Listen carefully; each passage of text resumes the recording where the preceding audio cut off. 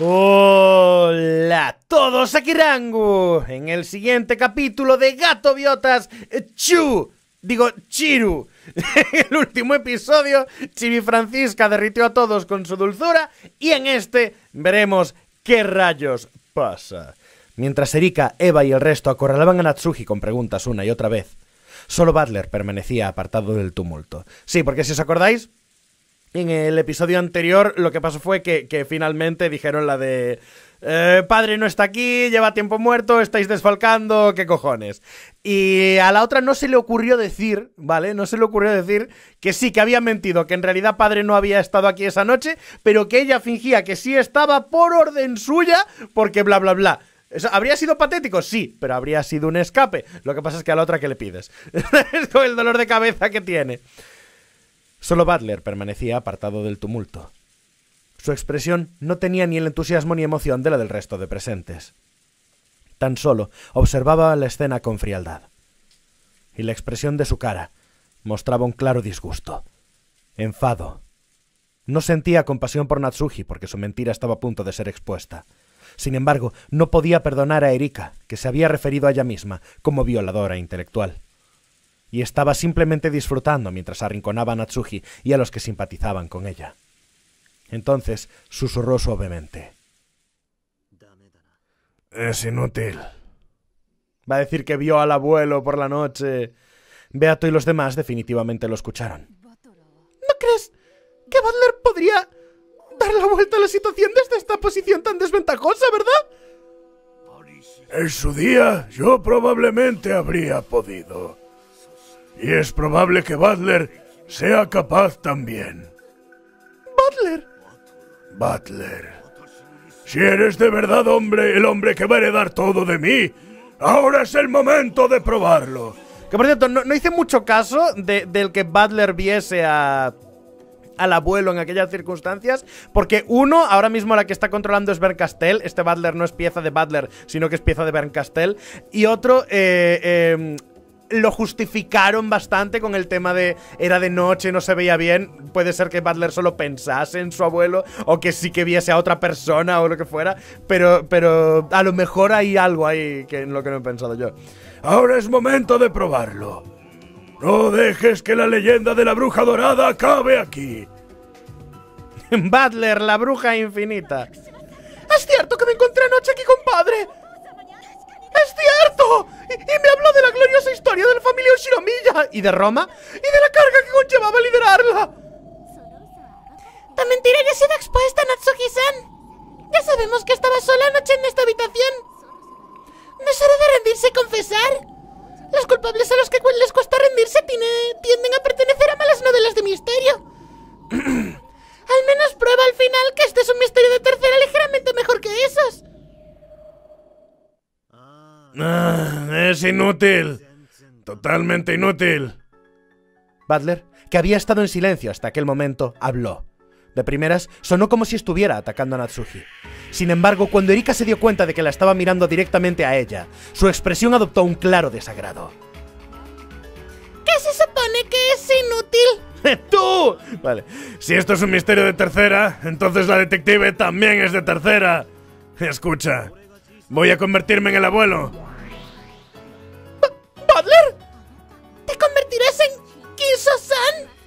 ¿Estás diciendo que te vas a convertir en Kiso y vas a recrear su desaparición de esta habitación? ¿No creerás que puedes negar mi jaque mate, no? ¡Idiota!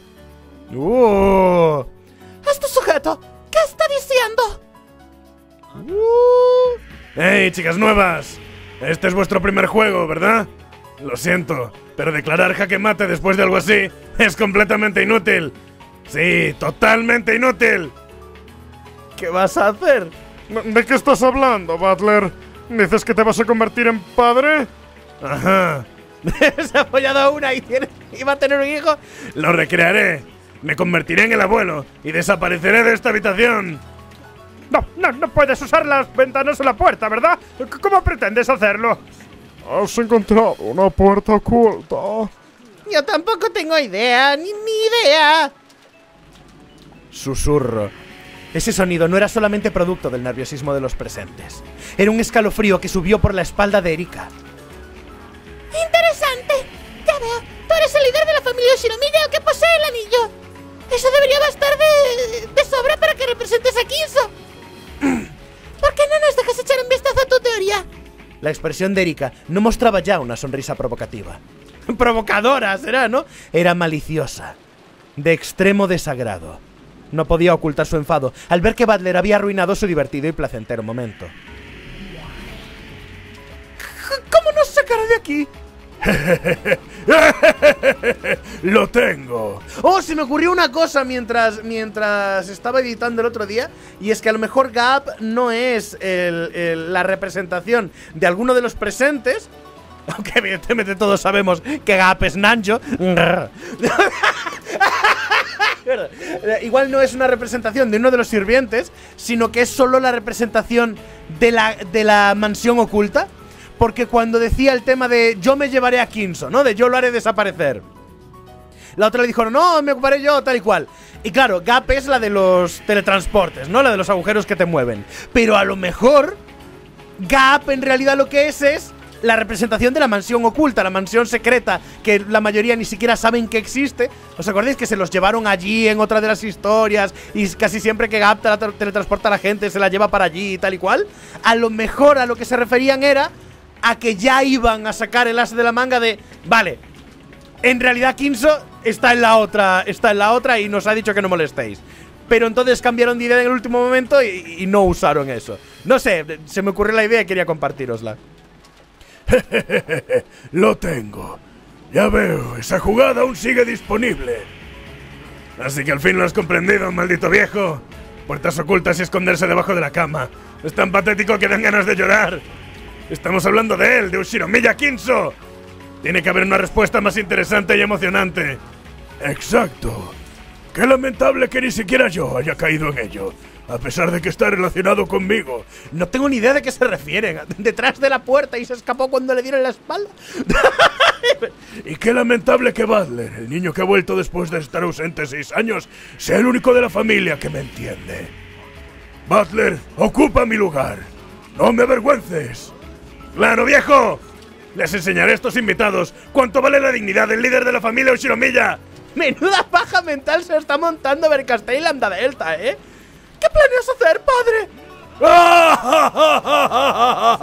¡Natsuki! ¡Beatrice! ¡Miren!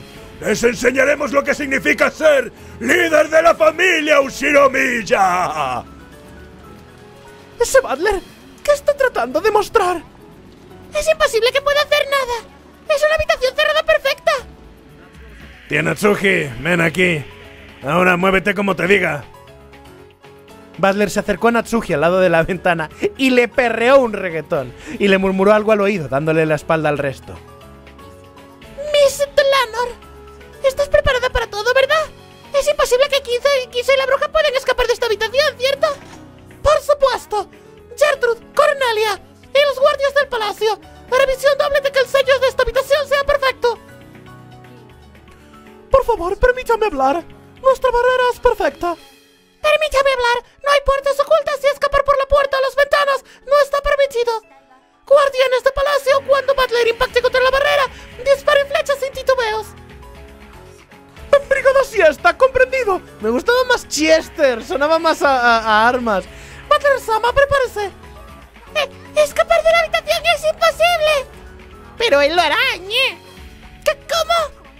¿Estás seguro de que puede vencer incluso sin tener ninguna base? Eso es lo que significa ser el líder de la familia Shinobiyañe. Cierto. Observemos. Sí. Veamos la majestuosidad del rival de Rich. Vamos allá, espero que no me hayan reclamado esta canción por copyright porque suena súper guay y últimamente en todos los capítulos me han reclamado una por lo menos.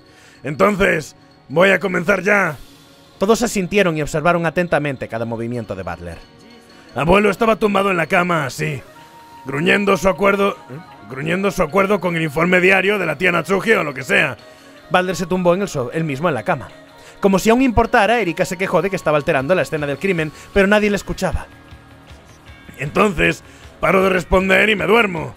Bueno, siendo realista, probablemente me canso de toda esa charla y solo finjo que me he dormido. ¡Cuánta razón! Ahora Butler es el protagonista de. Yo, yo veo que padre se ha dormido. Hago una reverencia en silencio y me voy.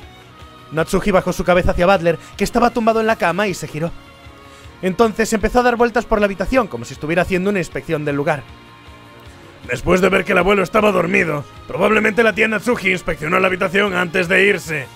Por supuesto, Shannon-chan y el resto lo limpian cada día, pero ella lo inspecciona de todos modos, asegurándose de que no haya polvo que se acumule, asegurándose de que no se hayan acabado los bienes consumibles.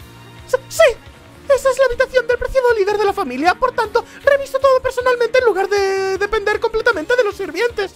Siempre lo hago. Eh, es verdad. La señora normalmente revisa las cosas con mucho cuidado. Sus inspecciones son muy detalladas e incluso revisa todos los objetos del baño uno por uno. En otras palabras, no es solo el polvo en el alféizar como ven siempre en la televisión. Ella comprueba que haya suficiente jabón y papel higiénico en el baño. Aunque es probable que no tenga que hacerlo cada día, es muy devota. Así que Kinso se escapó antes de que volviese y simplemente no miró a la cama y no se fijó. Aunque es probable que no tenga que hacerlo cada día, es muy devota. Esa es mi rutina. No debo rebajar la dedicación y la inspección de la habitación del líder ni un solo día. Ve, ve al grano. ¿A dónde quieres llegar? Por favor, las actuaciones y alardes al mínimo. ¡Mira que lo dice! Entonces solo se permite alardear al detective. ¡Ñato! ¡Soy el detective! Como estamos dentro del estudio, es probable que ya te hayas dado cuenta, pero aunque lo llamemos así, no sería incorrecto afirmar que se trata de una segunda casa dentro de la mansión. Tiene un dormitorio, un estudio, servicios, incluso hay un lavabo y un baño. En otras palabras, no es una única habitación. Se podría denominar como una casa completa. Gracias por la explicación sobre cómo este lugar está dispuesto. Sin embargo, el movimiento concerniente al que está de escondiendo, a que se está escondiendo en la habitación ya ha sido derrotado. No se está escondiendo. ¿Y los demás también ven a Atlanor?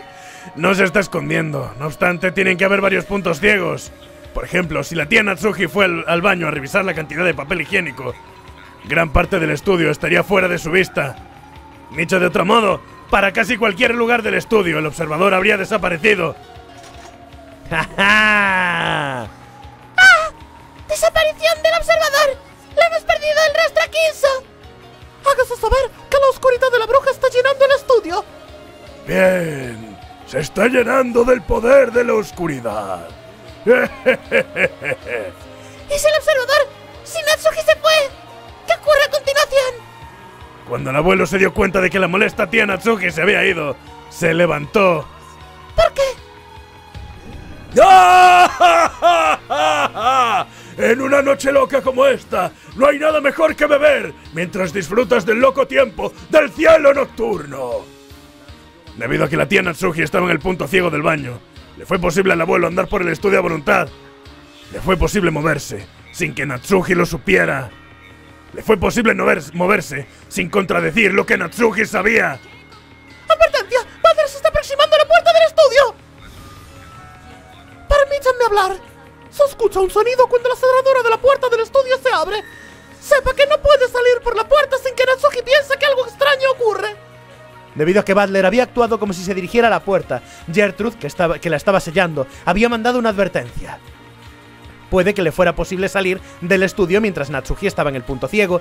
No obstante, ¡Es cierto el sonido! Sabemos que hay un fuerte sonido cuando la cerradura automática se abre. Incluso si Natsuki estuviera en un punto ciego, escucharía el fuerte ruido que se produce cuando la cerradura se abre. Por supuesto, le parecería raro. Permítanme hablar. Hágase saber que Natsuki no escuchó el sonido de la puerta abriéndose mientras estaba en la habitación. el baño y el lavabo están cerca de la puerta. Incluso si no lo hubieran estado, esa cerradura automática siempre produce un gran ruido. Sin duda lo hubiese escuchado. Ahora que Natsuki había hablado con Erika y el resto sobre los detalles de la noche anterior, había dejado claro que nada fuera de lo común había sucedido. El argumento de que Natsuki no escuchó la cerradura no iba a funcionar. Por favor, permítame hablar de nuevo. No se permitirá a Kinso entrar o salir por la puerta. Hágase saber que esta resistencia es inútil. Es una estupidez. Es cierto que no puedo pasar a través de esa nechan de la puerta. Pero ¿qué hay de la de la ventana? Cuando, cuando se aseguró de que la ventana, dándole la espalda a Gertrude, que había declarado que salir por la puerta era imposible, Butler fijó su mirada en Cornelia, que se encontraba delante de la ventana. Asegúrate de sujetar fuerte esa barrera tuya. Porque vas a salir volando, ¿entendido? En ese momento, el objetivo de Butler estaba claro. Era Cornelia. Y era la ventana. Iba a destrozar esta habitación cerrada. ¡Por la ventana! Sin esperar ser escogida como objetivo, Cornelia se vio intimidada por un segundo, pero enseguida recuperó la compostura. Era raro que una bruja que intentaba luchar para escapar desafiara las barreras que ella misma había dispuesto. Además, este tipo de brujas estaban siempre luchando desesperadamente al borde de la muerte. Por favor, permítanme hablar. Eres el objetivo de Butler, Cornelia. Gracias, Lord, permítame hablar. Requiero que estés en guardia. ¡Idiota! ¡Dios, ten pena de este corderito idiota! No soy ninguna oveja. El líder de la familia Ushinomiya es un águila. Con un ala. No creas que puedes mantenerme encerrado en este estudio con una frágil ventana como esta. Comenzando desde una postura baja, de forma silenciosa y ágil, Balder corrió hacia adelante como un leopardo blanco. ¡Pero no era un águila! ¡Este tipo! ¡No pretenderá! ¡Ah! ¡Esto es... ¡Ah! Per- permítame hablar. No hay forma de que puedas derrotar a mi rojo. Sepa que su deseo no será concedido. Cornelia estiró ambas manos hacia adelante e hizo un signo. Entonces, una barrera roja se, ce- se cerró frente de Butler. Es inútil a Milla Butler. Declaro que mi ventana está cerrada desde dentro y Natsuki no dejó escapar a Kinzo. ¡Ah! Pero si no lo sabía. La tía Natsuki no dejó escapar al abuelo.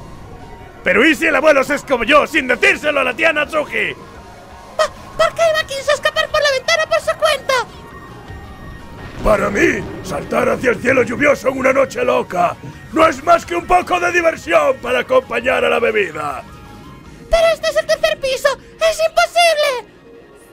Incluso tú has saltado alguna vez un tramo de escaleras, ¿no? Tres pisos no son nada para Kinso. ¿Pero qué decís, animalas? No me extrañaría viniendo de él. ¿Pero qué dices, animal? No me extrañaría nada. ¿Pero qué dices, animala? ¡Es, es ridículo! Muchísimo, además. Sin escalar, dime por lo menos que tenía una pértiga o algo el señor. Aparecieron grietas azules en la barrera roja de Cornelia y se hizo añicos de un crujido. Todo sucedió demasiado deprisa. Parecía como si ella misma se hubiera apartado del camino por miedo a Butler. ¡Nueve interminable! ¡9,999! ¡Poder de resistencia mágica 9,999 interminable! Cornelia Sama no puede bloquearlo. ¡Retírese! Al mismo tiempo que la barrera colapsaba, la ventana detrás de Cornelia se abrió de golpe. ¿Se está tirando? Las cortinas ondearon por un instante. Aunque estaba todo bañado por la lluvia, los cielos y el patio se abrían frente a ellos. Una salida apropiada para un águila que salta desde aquella habitación cerrada. ¿Está saltando, Butler? ¡Cornelia! ¡Repara la barrera! Como desee, comandante del Amor. Entiende que no te permitirá que rompas esto. Cornelia volvió a sus cabales y alzó una nueva barrera roja. Sin embargo, sería la última. Por el momento vamos a aceptar que Kinzo escapó por la ventana. En este caso, ¿cómo puso el pestillo? Que no se puede poner desde fuera. La ventana estaba cerrada con pestillo desde dentro. ¡Inútil! Sí, totalmente inútil. Kinso y Butler sonrieron. ¿Se creía que ese débil rojo podría bloquear la carga de Butler y Kinso, los dos líderes de la familia? Después de que el abuelo saltase por la ventana, es probable que la tía Natsuki notara una corriente de aire. Y entonces ella se acercó a la misma, se dio cuenta de que estaba abierta y rápidamente la cerró y puso el pestillo. Es probable que Natsuki ni se imaginara que me había ido por ahí. Sí, por tanto lo normal es que la tía Natsuki pensase que Kinso estaba en cama durmiendo. ¡Están como cabras! ¡Están como cabras los dos, colega! Ahora que Butler había encontrado la respuesta, la barrera roja era más frágil que un cristal delgado. El muro mágico de la certeza había sido destrozado de nuevo con, tal facilidad que deshonraba el nombre de la certeza misma. A ver, esto está totalmente al nivel de lo de decir, nada, fueron minibombas, ¿sabes? O sea, no, no se puede demostrar que no, pero es totalmente absurdo que sí. Increíble, ¿verdad? Aquella barrera era más firme que cualquiera que Ronobe hubiese usado alguna vez contra Jessica. Y aún así, había sido destruida con aquella facilidad. Aunque Balder cargara con fuerza y casi había alcanzado a Cornelia, ella no se hacía a un lado. Su espíritu férreo, digno del nombre Elisern Jungfrau, no le permitía apartarse. Sacó un amuleto de su bolsillo, lo puso en el aire e hizo una señal. Entonces, no rojo sino azul apareció allí. Aunque era mucho más frágil que la barrera roja, era su último método de resistencia. No, no pasarás por aquí, no pasarás. Sea como sea, este es el tercer piso. ¿Cómo podría un hombre sin alas escapar por la ventana? Entiende que no pasarás por aquí. ¡No pasarás! ¡Deja de gruñir y observa! ¡Esta es la respuesta! ¿Sale por la cornisa o Butler? Saltó. Se abrió paso a través de Cornelia y su barrera azul. Las apartó a un lado. Y su cuerpo voló por la ventana a través de la oscuridad del cielo lluvioso. Está como una cabra. Está como una cabra, gente. ¿Yo qué le hago si está loco? ¡Está loco!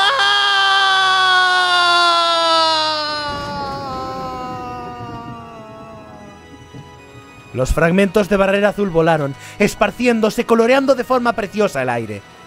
La habitación cerrada había sido destrozada y se había abierto. Butler voló fuera de la mansión. Se encontraba en el cielo, sobre el patio. Todas las gotas de agua se convirtieron en pequeñas y redondas gemas y fueron esparcidas por el aire. Butler voló a través del maravilloso mundo, que era el bello y tormentoso cielo, a través de las incontables gemas de lluvia que lo formaban. Espero que no se mate al llegar al suelo. Hombre, es, un poco como lo de Angie, ¿no? Supongo. Confía en la suerte de que sobrevivirá. En el cielo sobre el mundo cuyo tiempo se había congelado, Delanor y Butler se encararon. Sí, si Butler, que, se había que había destrozado y volado fuera de la ventana, era como un caballero saltando de un caballo blanco. Entonces Delanor, que flotaba en el aire esperándolo, también era un caballero. En el aire que había sobre... ¡Qué bella metáfora! En el aire que había sobre el patio, rodeado por la mansión de los Osiromilla y congelado en el tiempo. El verdadero nuevo líder de la familia Osiromilla y el discípulo del cielo que lo pondría a prueba, cruzaron caminos. ¡Bien hecho! Cuando caigas en el patio, independientemente de si vives o mueres, no cambiará el hecho de que Kinso habría podido derrotar esta habitación cerrada. Tú que has tirado tu vida y saltado, eres un mártir. Bien hecho, has destruido nuestra barrera. Espléndido, Silmilla Butler. No obstante, yo soy el Inquisidor General de la herejía, Delanor Nox. No puedo permitir que escapes delante de mis narices. Ahora al final, permíteme el honor de cruzar espadas contra ti. Por supuesto. ¡Vamos! Este juego es sorprendentemente implacable. En ese mundo donde las gemas de lluvia caían lentamente como copos de nieve en un campo nevado. Lanor y Butler lentamente cruzaron sus caminos. cruzaron sus espadas. Pareció lento, y aún así pasó en apenas un destello. Sus miradas se cruzaron y chocaron como rayos. Un caballero enfrentó al otro y todo se decidiría en un único golpe. ¿Cuál es el argumento? Azul y rojo cruzaron caminos. Dios, qué escena más chula, a ver si me acuerdo de ponerla de miniatura. ¿Fue mostrado anteriormente que existía un punto ciego en el estudio para Natsuki? Si no fue así, esta teoría no será permitida. Nox número 8. Queda prohibido que el caso sea resuelto con pruebas no presentadas. ¡Uy, tiene un azul también! ¡Tramposa!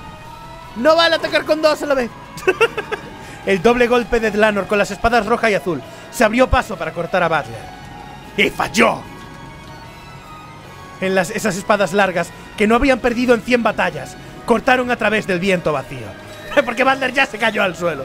Cuando entramos en el estudio, su estructura fue mencionada claramente. Una lástima para ti.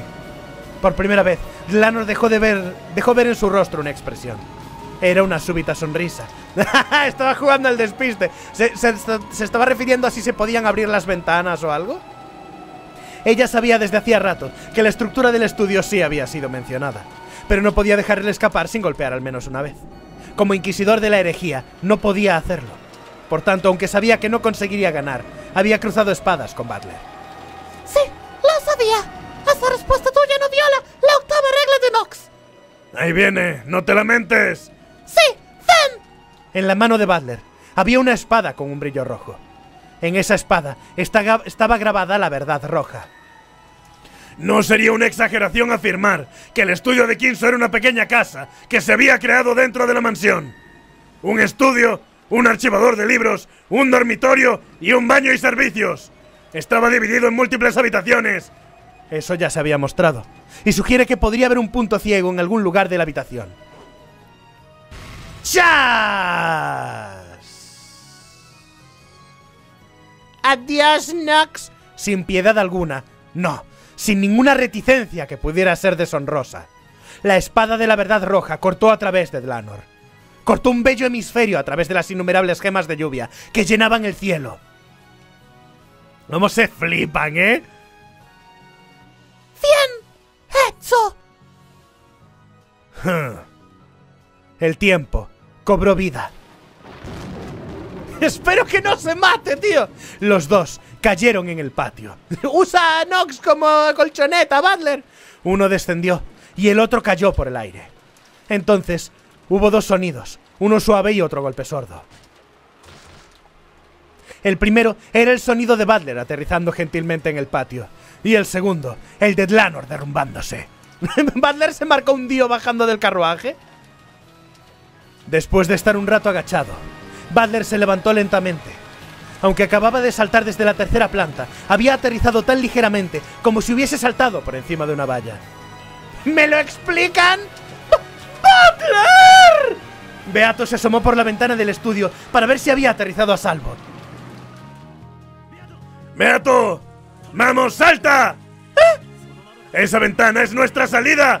¡Así que salta! No eres el tipo de bruja que puede ser encerrada en una habitación así, ¿verdad?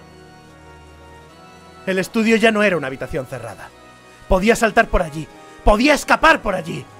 Llegados a ese punto, la habitación cerrada que había amenazado con capturar a la bruja y ahogarla había sido destruida.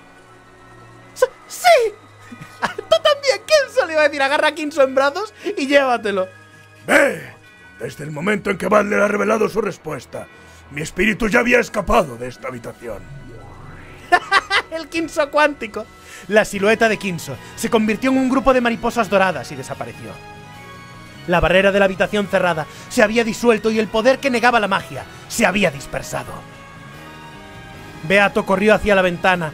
Esa era la única salida de la habitación cerrada en esta casa de caza de brujas.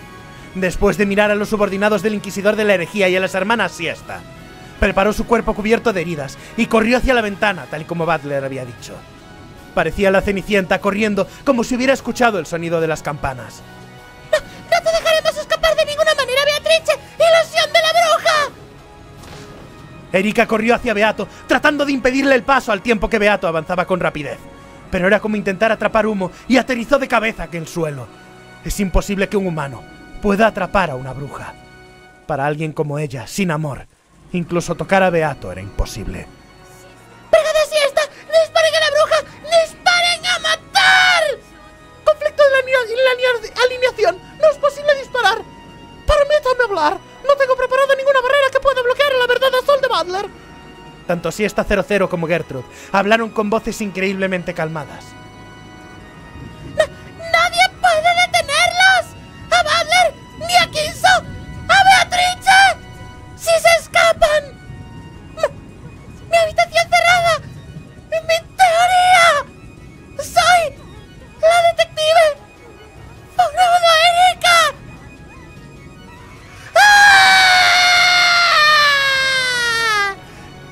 Parece que tu intelecto ha sido violado. Esto es posible para Ushiromiya Butler. Erika se agachó gritando y agarrándose la cabeza. La gran bruja dorada no va a ser derrotada por algo como ese mugriento estudio del viejo. Solo estamos en el primer atardecer. Enseñaré a estos novatos que tu juego no es tan sencillo. O sea que ahora Butler ya sí que tomó 100% posesión de su propia pieza, ¿no? Tal y como Butler había hecho, Be- había dicho, Beato saltó. ¡Sí! ¡Era la imagen que estaba esperando ver, tío! Estaba esperando verlo agarrarla en el aire. Cayó a través del maravilloso mundo que era la lluvia, hasta parar en el pecho de Butler. ¡La paraste de pecho, Colorado! Butler la atrapó con ambos brazos, como agarrando unas alas de ángel. Era como un caballero, tomando una princesa que había sido encerrada en una torre. Ahora esta podría ser una buena miniatura, mierda. no sé cuál usar. Era como un caballero tomando una princesa que había sido encerrada en una torre, como una preciosa imagen de una escena, de un cuento de hadas. ¡Mierda! ¡Creo que me he enamorado! Por favor, doctor Nanjo. ¿Todos los líderes de la familia Shinomiya son así? Yo también me he enamorado. Si se escribieran todas las gestas sin precedentes de Ushiromiya, de Ushiromiya Kinso, es probable que quedara un esplendoroso cuento más largo que todos los grimorios del estudio juntos. Parece que el cuento del nuevo líder también valdrá la pena de escribir. De hecho, ya está siendo escrito. Ya es un cuento muy, muy largo. Ahora sí, ¿no? Como 50... ¿qué, ¿Qué sería ahora ya? ¿56 capítulos o 57 capítulos? Los demonios reían desde encima del tejado, sosteniendo sus paraguas. ¿Pero quién se los dio? Entonces miraron a los dos que estaban en el patio. ¡Mirad qué contentos! ¡No eres malo! ¡Nada malo! Supongo que todos estos juegos me han fortalecido. Sorprendida, Beato había halagado a Butler mientras éste la sujetaba entre sus brazos. Él rió despreocupadamente, como era habitual. ¡Esto es! ¡Imposible, imposible! ¡Que te jodan! Erika miró hacia abajo desde la ventana y apretó los dientes, agarrándose aún la cabeza. Sí, a ver, la... Yo no estoy a favor de las brujas, pero, pero, tampoco estoy a favor de Furudo Erika. Entonces... es- Entonces, esta disociación es posible para Gamer Rango.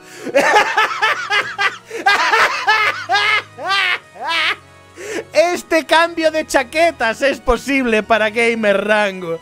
Todavía sosteniendo a Beato en brazos, Butler le sonrió. Erika,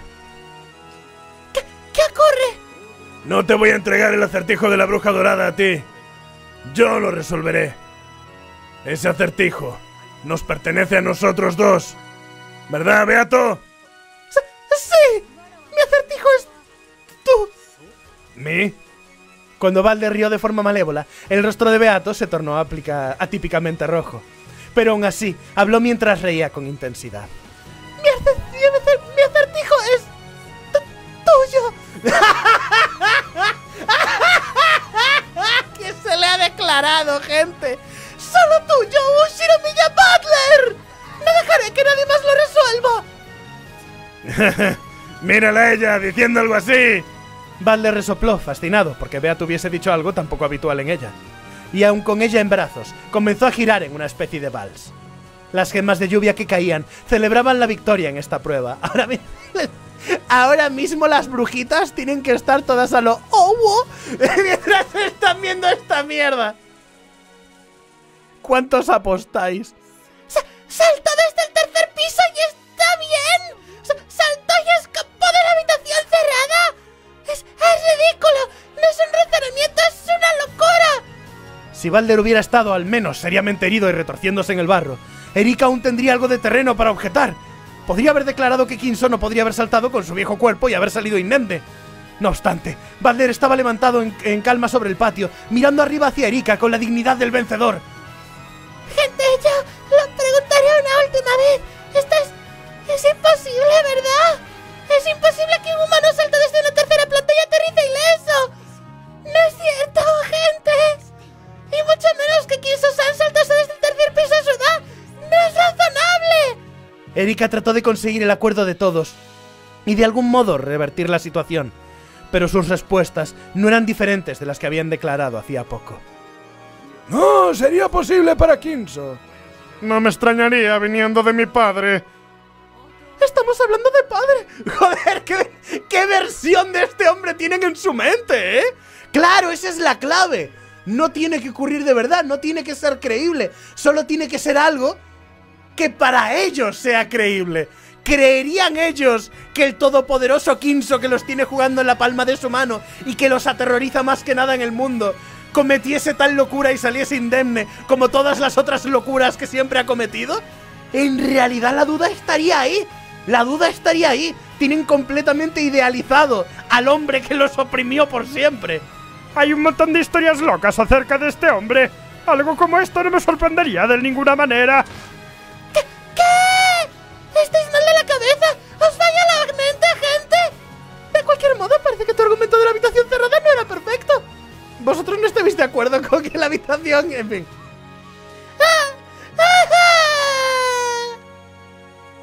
No solo los sirvientes, sino que los miembros de la familia también estaban de acuerdo. Todos estaban de acuerdo en que no había nada extraño en el hecho de que Kinso saltase por la ventana de un tercer piso.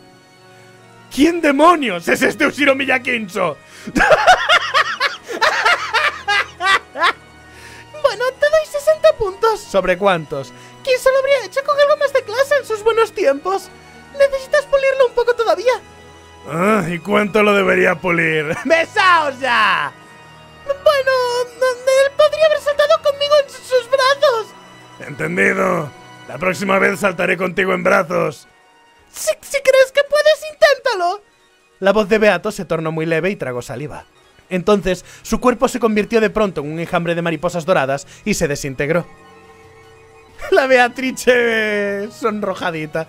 Eso era debido a que mucha gente se había asomado por la ventana y estaba siendo bañada con miradas llenas de toxina antimagia. El cuerpo de Beato se volvió invisible para ellos y se derritió en el aire. Para sus ojos, parecía como si Butler estuviese levantado él solo en el patio. ¡Butler, estás bien! Pa parece que está bien, gracias a Dios. He perdido. En este caso, para beneficio de la gente del estudio también, propíname el golpe final a mí. Usa tu verdad azul final para mostrar cómo se escapó de esta habitación cerrada que era el estudio. No había dolor en la expresión de Delanor. Placer y dolor nunca se mostraban en su rostro. no obstante, usaba su larga espada como apoyo para levantarse, por lo que era sencillo deducir que estaba gravemente herida. Y a pesar de su inexpresividad, se podía ver que era una derrota que aceptaba. Butler y Delanor se giraron para ponerse cara a cara. Allá voy.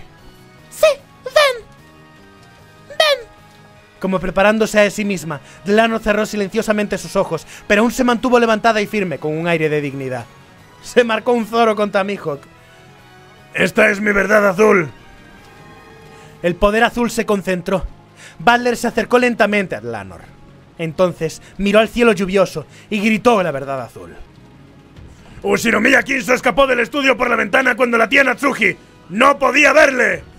La tía Natsuki no se dio cuenta, así que cerró la ventana y puso el pestillo. De este modo, la tía Natsuki vio al abuelo irse a dormir y el abuelo pudo escapar del estudio sin contradecir el pestillo de la ventana o la puerta selladas con el recibo. Acabo de demostrar que fue físicamente posible para él escapar. Por tanto, la batalla ha terminado. Están todos como cabras, tío. La cuña azul se iluminó por el patio junto a un relámpago del mismo color y voló hacia la frente de Delanor mientras ella miraba al cielo. es que tiene cero sentido. Pero todos se lo creen porque Kilso estaba loco. ¡Ah! ¡Invicto! Vale, perdón. El juego de Beato no es fácil. Es incluso dudoso que las tácticas típicas del género de misterio funcionen aquí. Tu habilidad con la espada no es mala, pero debería ser algo más flexible en tu pensamiento. Una cuña azul masiva, que parecía un pilar, estaba delante de la frente de Dlanor. Y se había detenido, con su punta tocándole suavemente la piel. Sin embargo, no la atravesó. No hizo ninguna marca más grande que si hubiera sido pinchada con un lápiz. Cuando Butler chasqueó sus dedos, la cuña azul se hizo añicos y se convirtió en una ducha de gemas translúcidas. No, gotas de lluvia que descendían sobre el patio. Lanor se sentó de forma distraída. ¡Qué, qué caballeroso, ¿no? Entre los rayos y la lluvia, el heredero de la familia Ushiromiya miró a la gente que observaba desde la ventana del estudio y... abrió sus brazos. ¡Bienvenidos al juego de Beato y mío! ¡Bienvenida, Furudo Erika! Este era el punto en el que decían lo de que ya casi lo habían resuelto, ¿no? Pero ahora hay una continuación.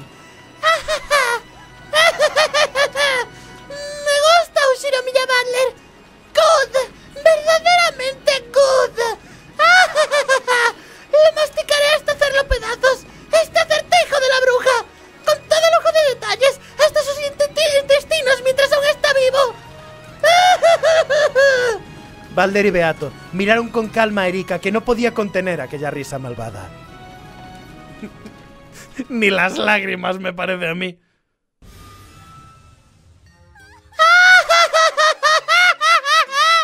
¡Esto es tan bueno! ¡Erika, ese fue patético!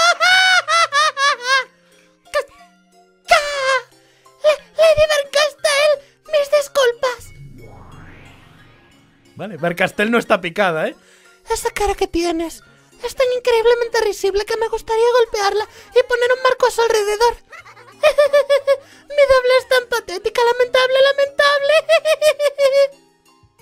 Apabullada por las burlas de Berncastel, el ser que era como una madre para ella. Erika estaba tan avergonzada que parecía que iba a morder su labio inferior hasta destrozarlo. Este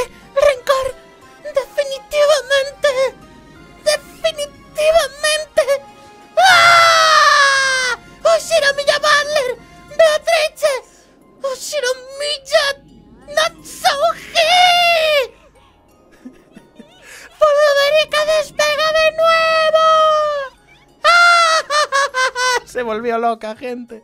Aunque no más que Butler. Por eso perdió. Este acertijo es nuestro. No dejaré que nadie se ponga en medio, Beatrice. ¡Sí! Podrían estar más como cabras. La respuesta podría sorprenderos. Es no. La respuesta es que no. Y pasaron las horas. Razonamiento e inspección. ¿Qué vais a hacer, eh? En la Tierra Dorada, la silenciosa lluvia seguía cayendo. En la pérgola estaba sentada la triste bruja, cuyos ojos habían perdido su brillo. Y Butler. Virgilia también se encontraba ahí. Estaba sentada junto a Beato, tejiendo en silencio. ¿Qué estará tejiendo? El juego del Lambda Delta había pasado del clímax del primer crepúsculo y estaba tomando un estaban tomando un descanso. Mirando el jardín de rosas doradas empapadas por la lluvia, Butler pensó en el presente, lo que estaba por venir y lo que había cu- ocurrido hasta ahora. ¡Butler tiene el poder de ver el presente! Para Butler, pensar en sí era una batalla. Sí, no, nunca ha sido el más listo de todos. Aun con el juego en pausa y Beato incapaz de hablar, todavía podía seguir luchando. Virgilia de pronto dejó de tejer. Butler también lo notó, ya que aunque se suponía que nadie podía visitar este jardín, había notado una figura acercándose. ¡Qué extraño! No mucha gente puede llegar hasta aquí. Es ella. ¡Oh! Esa silueta que caminaba en la lluvia y caía silenciosamente sin siquiera un paraguas. Claro, porque nadie se lo dio. Era de Lanor. Ese fue un espléndido laberinto de arbustos. Una forma muy bella de apreciar las rosas. ¿Por qué estás tú aquí?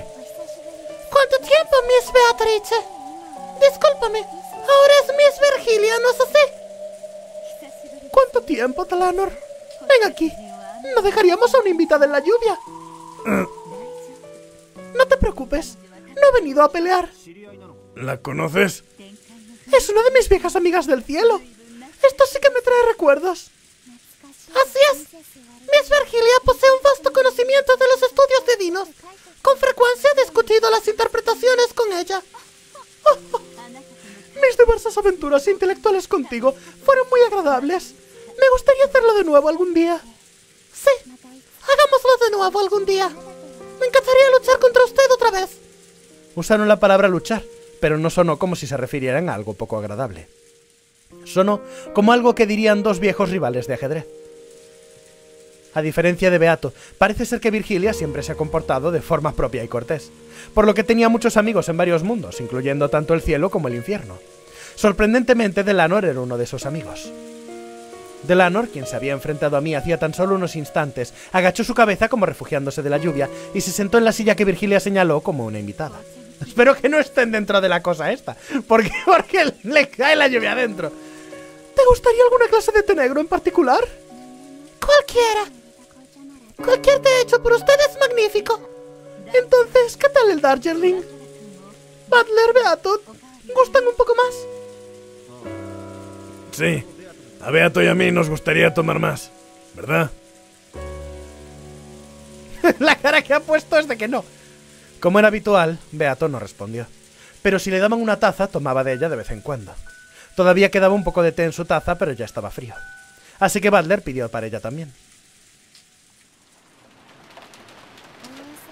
He escuchado los rumores. Es lamentable que Beatrice, la mujer bruja interminable, famosa por su crueldad, haya sido reducida a esto. Ya no está participando en el juego. Lambda Delta es quien controla a la Beato del tablero. Lo sé.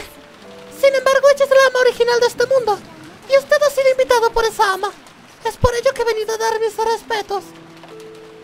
En el tablero, Beato y yo conocimos a Delanor. Pero estas eran, esas eran las piezas de las brujas. No éramos nosotros en verdad. ¿Es por eso que te has tomado la molestia de saludar a Butler Kun y Beato aquí? Veo que eres tan concienzuda como siempre. Esa es mi forma de hacer las cosas. Un placer conocerle, Mr. Butler. Mi nombre es Delanor Ignox. Jugamos a roles a rivales, pero es un placer conocerle. Claro, Tengo ganas de subir el capítulo en el que aparece Nox, a ver si la gente adivinó que le iba a poner la voz de, de Francisca. soy Oshiro Milla Butler. Bueno, la de Chibi Francisca. Encantado de conocerte. Un placer conocerle, Miss Beatrice. Mi nombre es Delanor Ignox. Beato, te está saludando.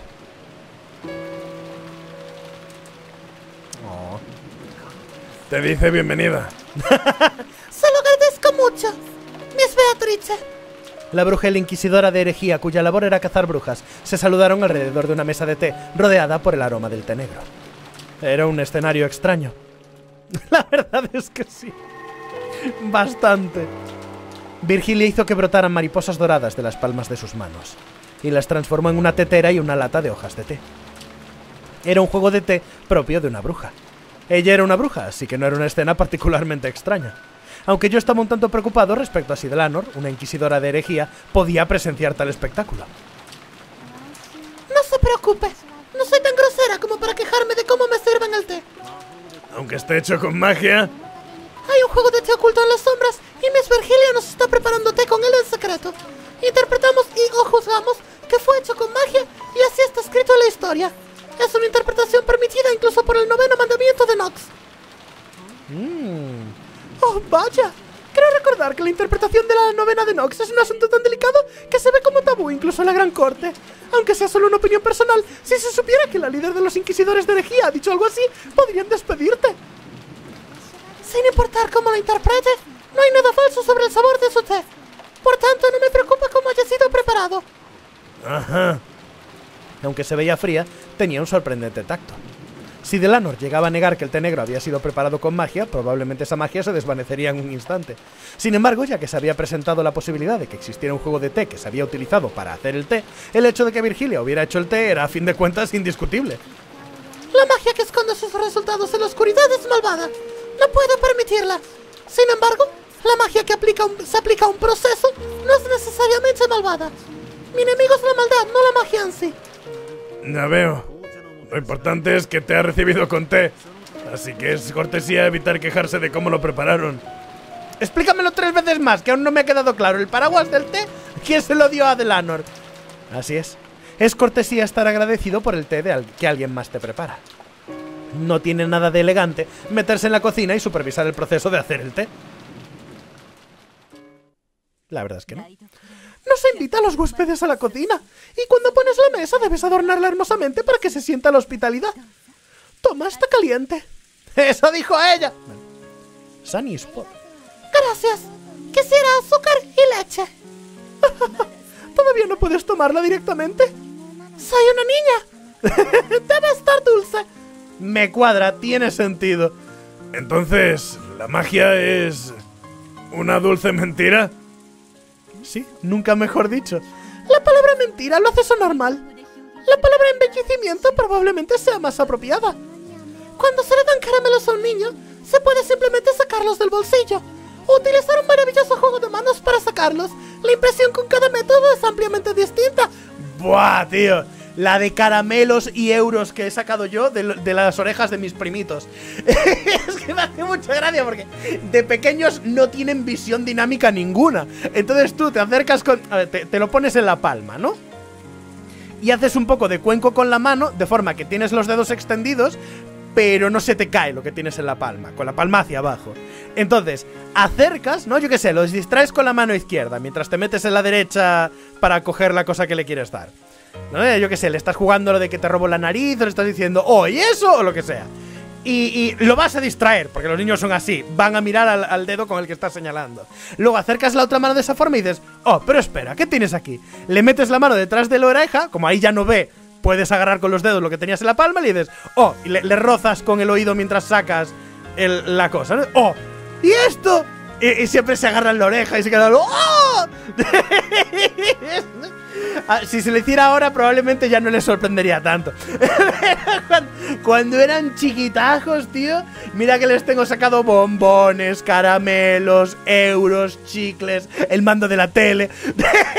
me lo escondía en la manga, no lo encontraban y yo me lo había escondido dentro de la manga. Y entonces dije, oh, ¿y esto? Y entonces al, al meter la mano detrás, bajé un poco el brazo, me llegó hasta la mano, lo saqué y digo, ¡lo tenías detrás de la oreja! Y es como se reían, me cago en la puta.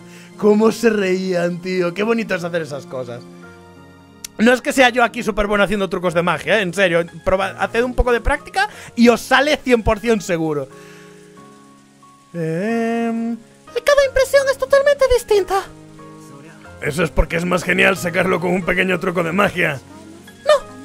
Es significativo porque embellece el resultado. El dar el caramelo lo hace incluso más hermoso y divertido.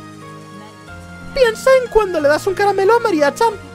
Hay una enorme diferencia entre sacarlo de un bolsillo y dárselo, o meterlo a escondidas en su propio bolsillo, y decirle que un hada se lo dio por ser una niña buena. En mi opinión sería grosero si después se cuestionaran las coartadas de todos y se especificara quién lo metió en su bolsillo. ¿Quién, ¿Quién le iba a dar el paraguas a María? Estás haciendo, estás haciendo referencia a lo de pensar en quién le dio el paraguas a María diciéndole que fue Beatriz, ¿eh? Lo importante es el resultado, que la niña recibió el caramelo y se alegró. Y el significado radica en que fue embellecido por alegrarla. Eso no me lo esperaba. Cuando apareciste creí que negarías todo lo que se hiciera llamar magia. Así es como actúo en mi labor de inquisidora. Es mi trabajo. Sin embargo, cuando no estoy trabajando, no disfruto actuar de forma tan fría. ¿Es esto lo que llaman dejar de lado tus sentimientos en el trabajo? Lo haces bien. Como inquisidora, eh, cazar brujas es mi trabajo. Personalmente, las brujas me parecen seres por los que sentir lástima. A pesar de esto, llevo a cabo los juicios sin piedad como inquisidora. El hecho de que ejecuto brujas no cambia en absoluto. Al final, mi lástima no es más que un inútil embellecimiento. La tenga o no, nada cambia. Sería mejor que no la tuviera. Así que pretende no tenerla. Eso no es cierto. Incluso si el final es el mismo, hay una gran diferencia dependiendo de tu corazón. Las galletas de tu madre seguramente eran más deliciosas que las que se preparaban en una buena repostería. Eso es porque sabías que estaban hechas con el corazón. ¡Sakutaro! Así es. Incluso si el resultado puede parecer igual, hay una enorme diferencia entre si tuvo uno una cosita llamada sinceridad. No estoy tan segura. Que tenga un corazón carece de significado. Tu peluche favorito. ¿Vale? Tienes eres un niño y tienes un peluche favorito. Y alguien llega. De hecho, es posible que sea lo que se basa Sakutaro al final, pero. Porque esto es un ejercicio de pensamiento antiguo. Entonces, alguien llega y por arte de magia, ¿vale? Chasquea sus dedos y materializa desde el aire una copia exacta, idéntica de tu peluche favorito. En ese momento, te dice: Puedes tener cualquiera de los dos. ¿Con cuál te quedas? Nadie elige el nuevo. ¿Vale? Nadie elige el nuevo. Son iguales. Subo la apuesta. Tu peluche está un poco viejo, el que te presenta está nuevo. Prácticamente nadie se deshace de su peluche favorito y se queda con el nuevo. Porque somos así. Así, so- así somos los humanos. Le damos un significado extra al objetivo real que tienen los objetos en base a nuestras emociones. Y sí, si tu mamá te hace unas galletitas eh, que saben más o menos como las de la tienda, para ti van a ser más ricas. Si te ofrecen un peluche que es más o menos como el que tienes, tú vas a querer el tuyo. Un tanto triste, la mirada de Delanor se clavó en su taza. Uy, esta parte me la van a reclamar fijo. Hay muchos silencios. Te equivocas. Tras escuchar todo eso ha cambiado mi opinión sobre ti. Así que estoy seguro de que tu corazón no es algo sin significado alguno. Virgilia se sorprendió al poco de escuchar las palabras que ella debería haber al escuchar las palabras que ella debería haber dicho salir de la boca de Butler. Ahí falta alguna comilla. Después de todo, comprender el corazón es el primer paso para entender la esencia de la magia. Quizá Butler estaba inconscientemente empezando a entender poco a poco la esencia de Beato, la esencia de las brujas y la mismísima esencia de todo, la esencia de la magia. Sea que quieras convertirte en bruja o aniquilarlas, el primer paso siempre es aprender sobre la magia. Virgilia estaba segura de que sentía ese ligero cambio surgir en Butler. Respecto a la última pelea, se lo agradezco mucho. Estoy agradecida por la vida que me tuvo al final. Ese yo no era yo. ¿No lo estabas controlando tú? Me decepciona un poco, ¿eh? Lambda Delta lo controlaba. Esa no me la esperaba. Me une al juego parcialmente transcurrido. Todavía no he participado hasta este momento. Así que hasta que me una, esa pieza que soy yo probablemente sea controlada por Ben Castell o Lambda Delta. Vaya, pues yo estaba segurísimo de que este había sido el punto donde ya la tenían acorralada. Pero finalmente Butler lo había roto, ¿sabéis? Me ha decepcionado bastante que no sea el caso. ¿Qué es lo que tratan de hacer esas dos? Haciéndome ver- haciéndolo ver como algo genial. Me hicieron ver como una especie de caballero que acudió al rescate de Beato. A lo mejor en realidad están intentando ayudar a Beato, porque aunque sean unas putis, no, no quieren que esté como está y le quieren enseñar algo bonito. Ey, igual es todo fachada. Lady Lambda Delta quiere que las brujas y los humanos se encuentren en balance, resultando en un empate. Con la aparición de Erika, las balanzas se inclinaron significativamente a favor del lado humano, así que manipuló la historia de una forma que apoyase a Beato. Soy consciente de ello, sin embargo las piezas no pueden hacer nada que les sea imposible, y les especializan en acciones apropiadas para su personalidad original.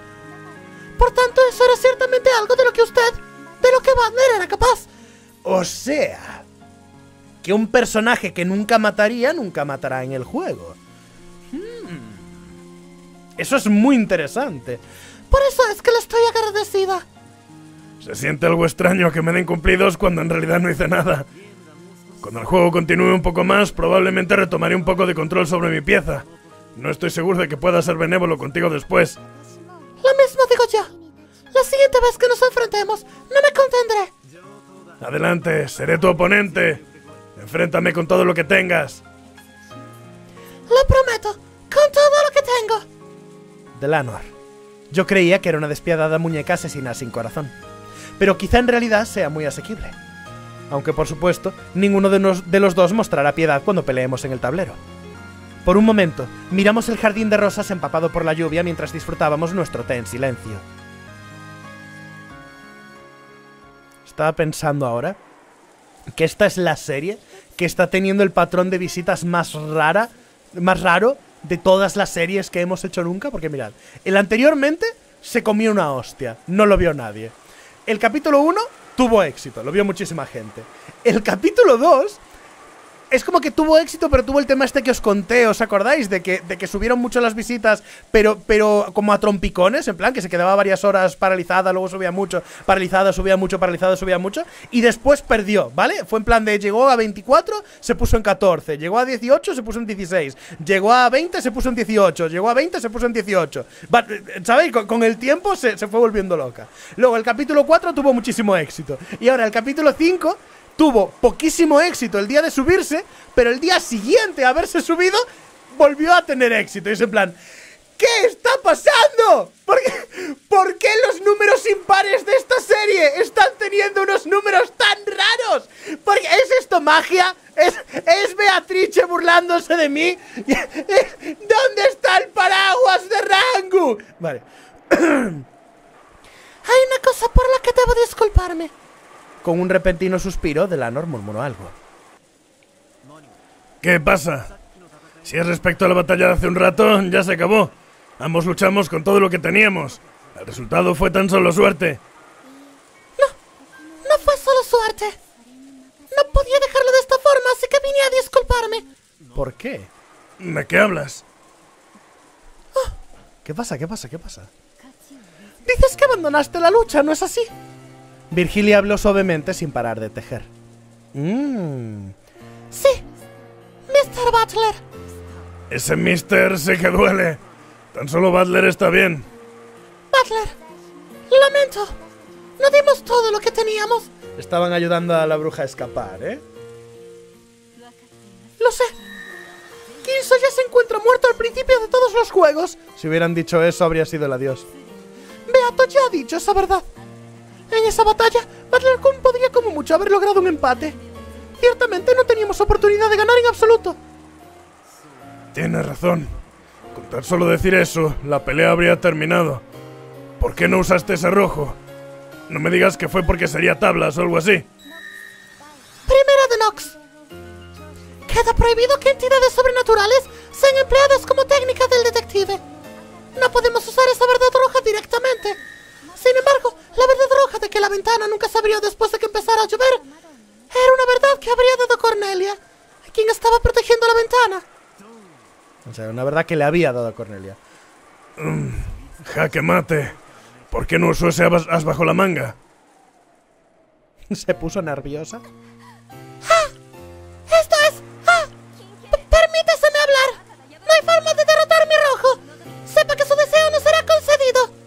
¿Dijo eso? Aunque hasta entonces había pe- peleado con calma. Cuando me precipité hacia adelante, se alteró. Pensé que se había asustado por mi ataque repentino, pero la verdad era distinta. Aunque tenía un as bajo la manga que podía repelerme por completo, de pronto se vio incapacitada para usarlo y titubeó. No lo entiendo. De pronto, en ese instante, el uso de ese as se prohibió. Una vez en esa arma, su victoria estaba garantizada. ¿Y quién le pudo quitar el rojo... esa verdad roja? Hmm.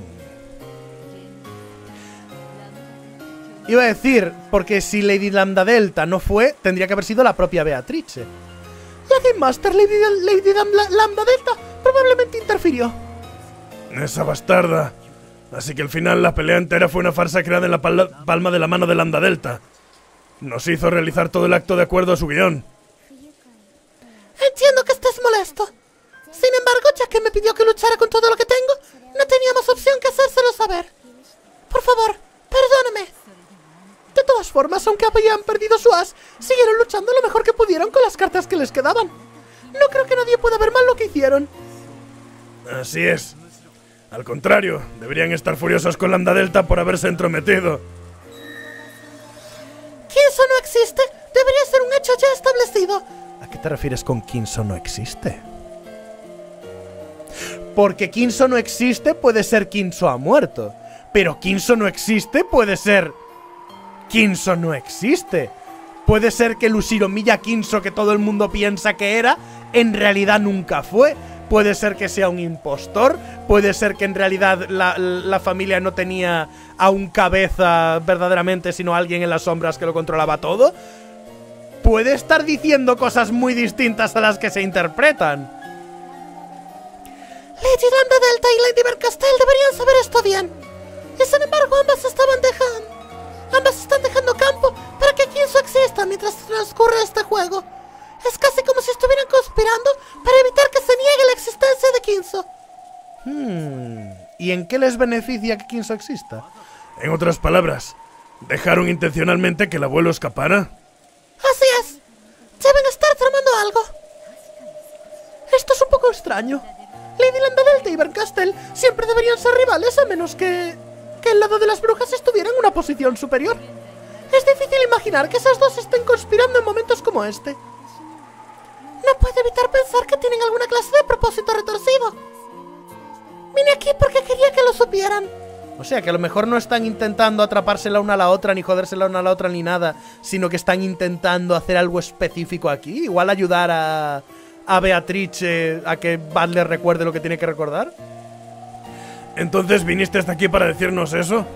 Sí, lo que significa que mi labor aquí ha terminado. Creo que me iré ya. El juego probablemente continuará en breve. Debo ayudar a Erika durante el resto de este juego. Yo al principio dudé muy fuerte de George, ¿vale? Porque fuera del meme y tal, lo veo capaz, porque es alguien inteligente, ¿no? Es alguien que, ha demostrado tener un puntito controlador un poco raro y, y eso. Y a mí, la verdad, si, si la familia le resultaba un impedimento muy fuerte para hacer lo que él quería, yo casi, casi me creo que, que sea un genio reprimido mm, con matices muy chungos dentro y que haya llevado a cabo toda esta mierda para, para excusarse en convertirse en el líder o en llevarse a la chica fingiendo su muerte o en sea lo que sea. Dicho esto, con el paso del, juego y sobre todo al final del juego, todo el tema este de que Butler tiene que recordar algo, que si Butler no hubiera venido no habría pasado esto, o que si no se hubiera ido no habría pasado esto. Había un montón de cosas que eran demasiado Butler céntricas como para que George realmente tuviese la motivación. Entonces, yo pensaba que George lo había hecho y que, y que Beatrice eh, perdón, que es que me llamaban por teléfono y me he despistado totalmente. Yo pensaba que George lo había hecho y que Shannon le había ayudado, pero ahora sospecho mucho más de Shannon, como ya os he dicho varias veces, y que Canon y George le hayan ayudado en todo caso, ¿sabéis? Pero todo dentro de un marco de que Kinso tenía un plan y había montado una serie de mierdas. No creo que es que sea que Shannon dijo un día, voy a hacer esto. ¿Sabéis? Yo creo que Shannon es Beatrice, pero dentro del marco de las órdenes que ya les había dado Kinso desde antes. Dlanor se tomó lo que quedaba de su té y se puso de pie. La siguiente batalla es la del segundo crepúsculo. En este momento de nuevo alzaré mi despiadada espada de hoja larga. Muy larga tiene la hoja esta niña. Así que pido lo mismo de usted, Butler. No me demuestre piedad alguna. De acuerdo. Si fuera hablando contigo, sería como poner yo mismo mi cabeza en la guillotina. En el tablero no soy más que la pieza de Lady Van Castell y la subordinada de Forudo Erika. En el futuro, probablemente nos enfrentaremos como oponentes en muchas ocasiones. Sin embargo, mi corazón siempre es neutral. Por favor. No, por favor, olvide eso. No tiene nada que ver con la relación entre nosotros dos. Sí que tiene que ver. No hay duda de que eres un oponente temible, pero ya no me desagradas. Aunque esa Erika sí que me molesta. Me alegro. A mí también me desagrada. Le estoy diciendo de coña. Me alegro. Erika también me molesta. La expresión de Delanor al fin se ablandó un poco. En esos últimos instantes, en verdad me pareció que al fin nos entendíamos. Erika es una criatura muy malvada. Ha quedado mal debido a su previa derrota y la consume el deseo de venganza. Ni siquiera yo sé qué planea. Sin embargo, no puede ser nada bueno. Por favor, cuídese. Con solo saber que es la pieza de Berncastel no me puedo descuidar. Delanora sintió satisfecha, saltó de la pérgola, salió de la pérgola y caminó hacia la lluvia. ¡Hey, toma este paraguas! Vale. ¿Quién hubiera creído que trabajaría como subordinada de... subordinada de tal maldad? ¿Por qué me llamaron a este mundo? Delanor soltó un pequeño suspiro. Las piezas no pueden hacer más que cumplir la función que se les asigne y dicha función les es asignada por quienes los controle. Probablemente no puede desobedecer a su propio jugador, Berncastel. Lady Berncastel debe haber sido quien te trajo aquí. Sin embargo, quien te permitió entrar a este mundo fue Beato. Si esta niña no lo hubiese deseado, nunca habría sido capaz de descifrar el laberinto y llegar hasta aquí. Oh, así que lo del laberinto de rosas... Mm. ¿Verdad, Beato? Oh. Miss Beatrice, ¿qué es lo que busca de mí? Igual que termine con todo esto y gane. Espero poderle ser de ayuda en alguna forma, aunque sea subordinada del mal. Le habló a Beato, pero por supuesto no hubo respuesta. Lástima. Tras inclinarse de nuevo para agradecer el té, Delanor desapareció en el lluvioso jardín de rosas. Pam, pam, pam. Entonces, ¿nadie puede llegar a la Tierra Dorada si Beato no lo quiere? Sí. Esta niña es quien invitó a Delanor aquí. Hmm. Entonces, Beato quiso que viniera para que yo pudiera conocerla. Sin embargo, sé de alguien que ya ha llegado a este lugar a pesar de los deseos de Beato. Espera, ¿hubo alguien que se... ¿Oh? Angie. En el juego pasado, Angie llegó a este lugar por su cuenta, aunque era una invitada no deseada. ¿Significa esto que en realidad no era no deseada? ¿Fue eso también algo que Beato quería? Para darle fuerzas a Butler de continuar. Que yo esté aquí, que tú estés aquí, que Beato esté aquí. Y que Delanor fuera invitada aquí, todas estas cosas ocurrieron porque ella así lo quiso. Esos momentos que Delanor y tú compartieron tomando té. Beato, ¿qué se supone que debo aprender de ella? Igual el razonamiento perfecto que resuelva el misterio y te muestre al fin su verdadera naturaleza. ¿Tiene algo que ver con encontrar tu corazón y dejarte descansar en paz? Delanor Einox, la enemiga natural de las brujas, inquisidora de la herejía, una vanguardia del misterio que niega la fantasía. ¿Está aquí para ayudarme a sacarte el corazón y arrancarte la vida?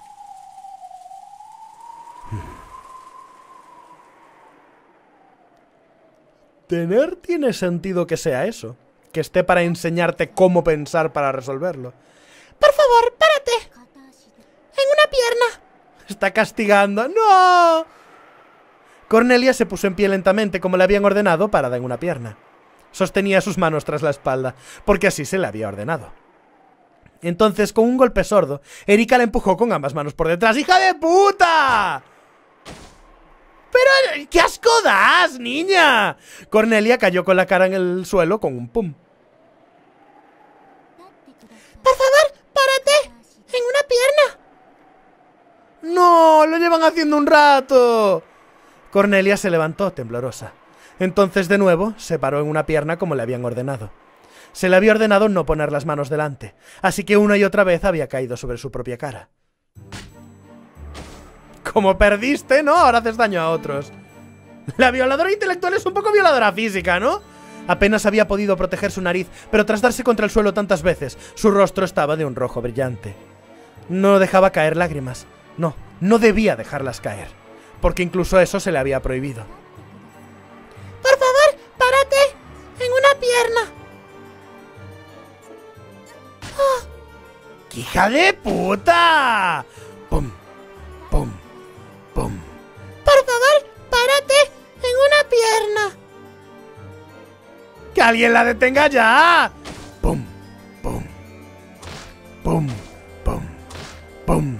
¡Pum! Erika repitió esta tortura de caída una y otra vez. En momentos como este, Erika odiaba contar cosas. Así que había decidido que una vez ya no le alcanzasen los dedos para contar las veces, simplemente lo repetiría hasta que se aburriera. Sin embargo, uno de los mejores rasgos de Erika es que nunca se desinteresaba de nada, así que la tortura siguió interminablemente. Erika no lo sabía. Erika no sabía por qué Cornelia había sido incapaz de proteger la ventana. Así que desde este momento le había echado toda la culpa de la derrota a ella. Por favor, permítaseme hablar. Perdone a Cornelia. Ya ha pagado lo suficiente. Ah, ¿Así lo crees? Entonces, por favor, a partir de ahora toma su lugar. Ge- Gertrude no ha hecho nada malo. Gertrude, por favor, párate. En una pierna. Con tus manos detrás de ti. ¡Oh, qué asco das! Gertrude siguió la orden y puso sus manos detrás de su espalda, parada en una pierna. Lo de estar parado en algunas partes de Latinoamérica es tener una erección y en otras es estar de pie levantado, ¿sabes? No debes resistirte o me- poner las manos. No se te permite doblar las rodillas. No se te permite llorar. ¿Entendido? ¿Cómo sé? Gertrude. Erika hizo el teatro al colocarse detrás de, de Gertrude. Incluso disfrutaba haciéndole pregun- preguntarse cuándo la empujaría. Y entonces volvió a empujar a la otra. Entonces, Gertrude y Cornelia fueron cubiertas por una fina luz brillante y desaparecieron. Ya que Delanor, que en algún momento debía haber regresado, las había enviado de vuelta a los cielos por el momento. Erika, cuya diversión había sido arruinada, silenciosamente miró a Delanor con una clara expresión de maldad. Miss Erika. Como superior suya tomaré cargo de cualquier error de mi subordinada. Le pido que la deje ir. No, thank you. El castigo solo funciona porque causa dolor. No hay nada interesante en una muñeca sin sentimientos. Aquí no puedo dejar una herida. Erika lentamente tomó la parte posterior del cabello de Delanor tirando sin piedad. El cuello de la misma se volteó hacia arriba rechinando. Quizá no causa herida física, pero sí causa dolor. Hmm. Como si tuvieras un corazón que lastimar. Inferior muñeca asesina cazabrujas. ¿Me estás respondiendo de mala manera? ¿A mí, la enviada y doble de la gran Lady Berncastel? Sí que es como una protagonista de, de Buffy, que es igual de cruel. No. Ya fue reprendido suspendida por Lady Berencastel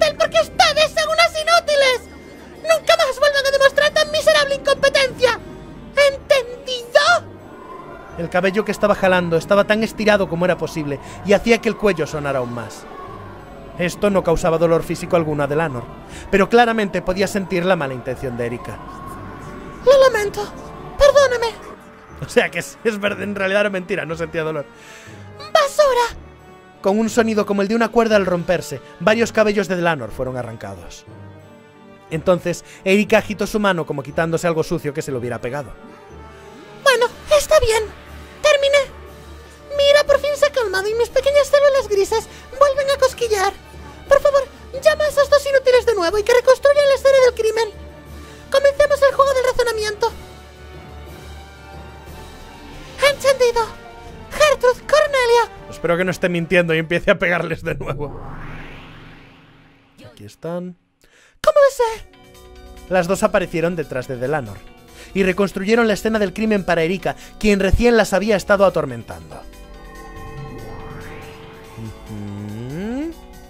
¿De qué les va a servir? ¿Pretende demostrar que ya estaba muerto? La desaparición de Kisa no fue más que una extra para el primer crepúsculo. Bien, comencemos investigando el primer crepúsculo. Ah, vale, van a reconstruir todos los crímenes, ¿no? Pero antes, ¿se dieron cuenta de que se nos dio un acertijo antes incluso de que ocurriera el asesinato? Sí, es la carta con la insignia del águila de un ala que apareció a las 24 de la noche anterior junto con el sonido de alguien tocando la puerta. ¿Quién era? Podía ser Kumasawa, podía ser Genji. Así es, en ese instante la historia... Joder, to- Todas son niñas ahora mismo, gente. No, no podía ser un personaje que tuviese esta voz. No podía haber un personaje que tuviese una cómoda voz neutra, un poquito grave para compensar. No, tenían que ser todo lolis. Todas tenían que ser lolis. Ese instante la historia crea la ilusión de que era imposible para cualquier humano, haciéndolo ver como si existiera alguna bruja desconocida. Comencemos a destruir esta ilusión de la bruja.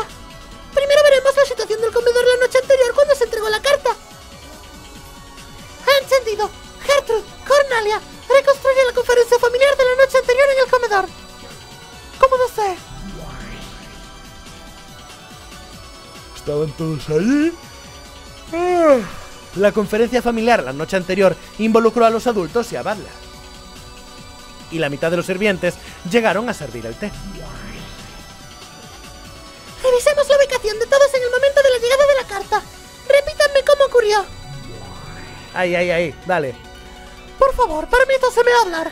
Antes de la conferencia familiar, Erika, George, Jessica, Mariana, Yogoda y Kumasawa dejaron la mansión y fueron a la casa de huéspedes. Por favor, permítaseme hablar.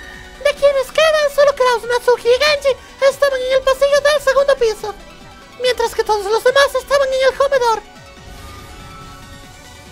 Vale. Y eso suponiendo que nadie de la otra casa pueda entrar aquí. Ya que la conferencia familiar estaba en curso y la mansión estaba completamente cerrada, todos los otros humanos eran incapaces de entrar a la mansión. Vaya, vaya. Eso significa que nadie de dentro de la mansión podría haber colocado la puerta y dejado la carta, ¿no? sí.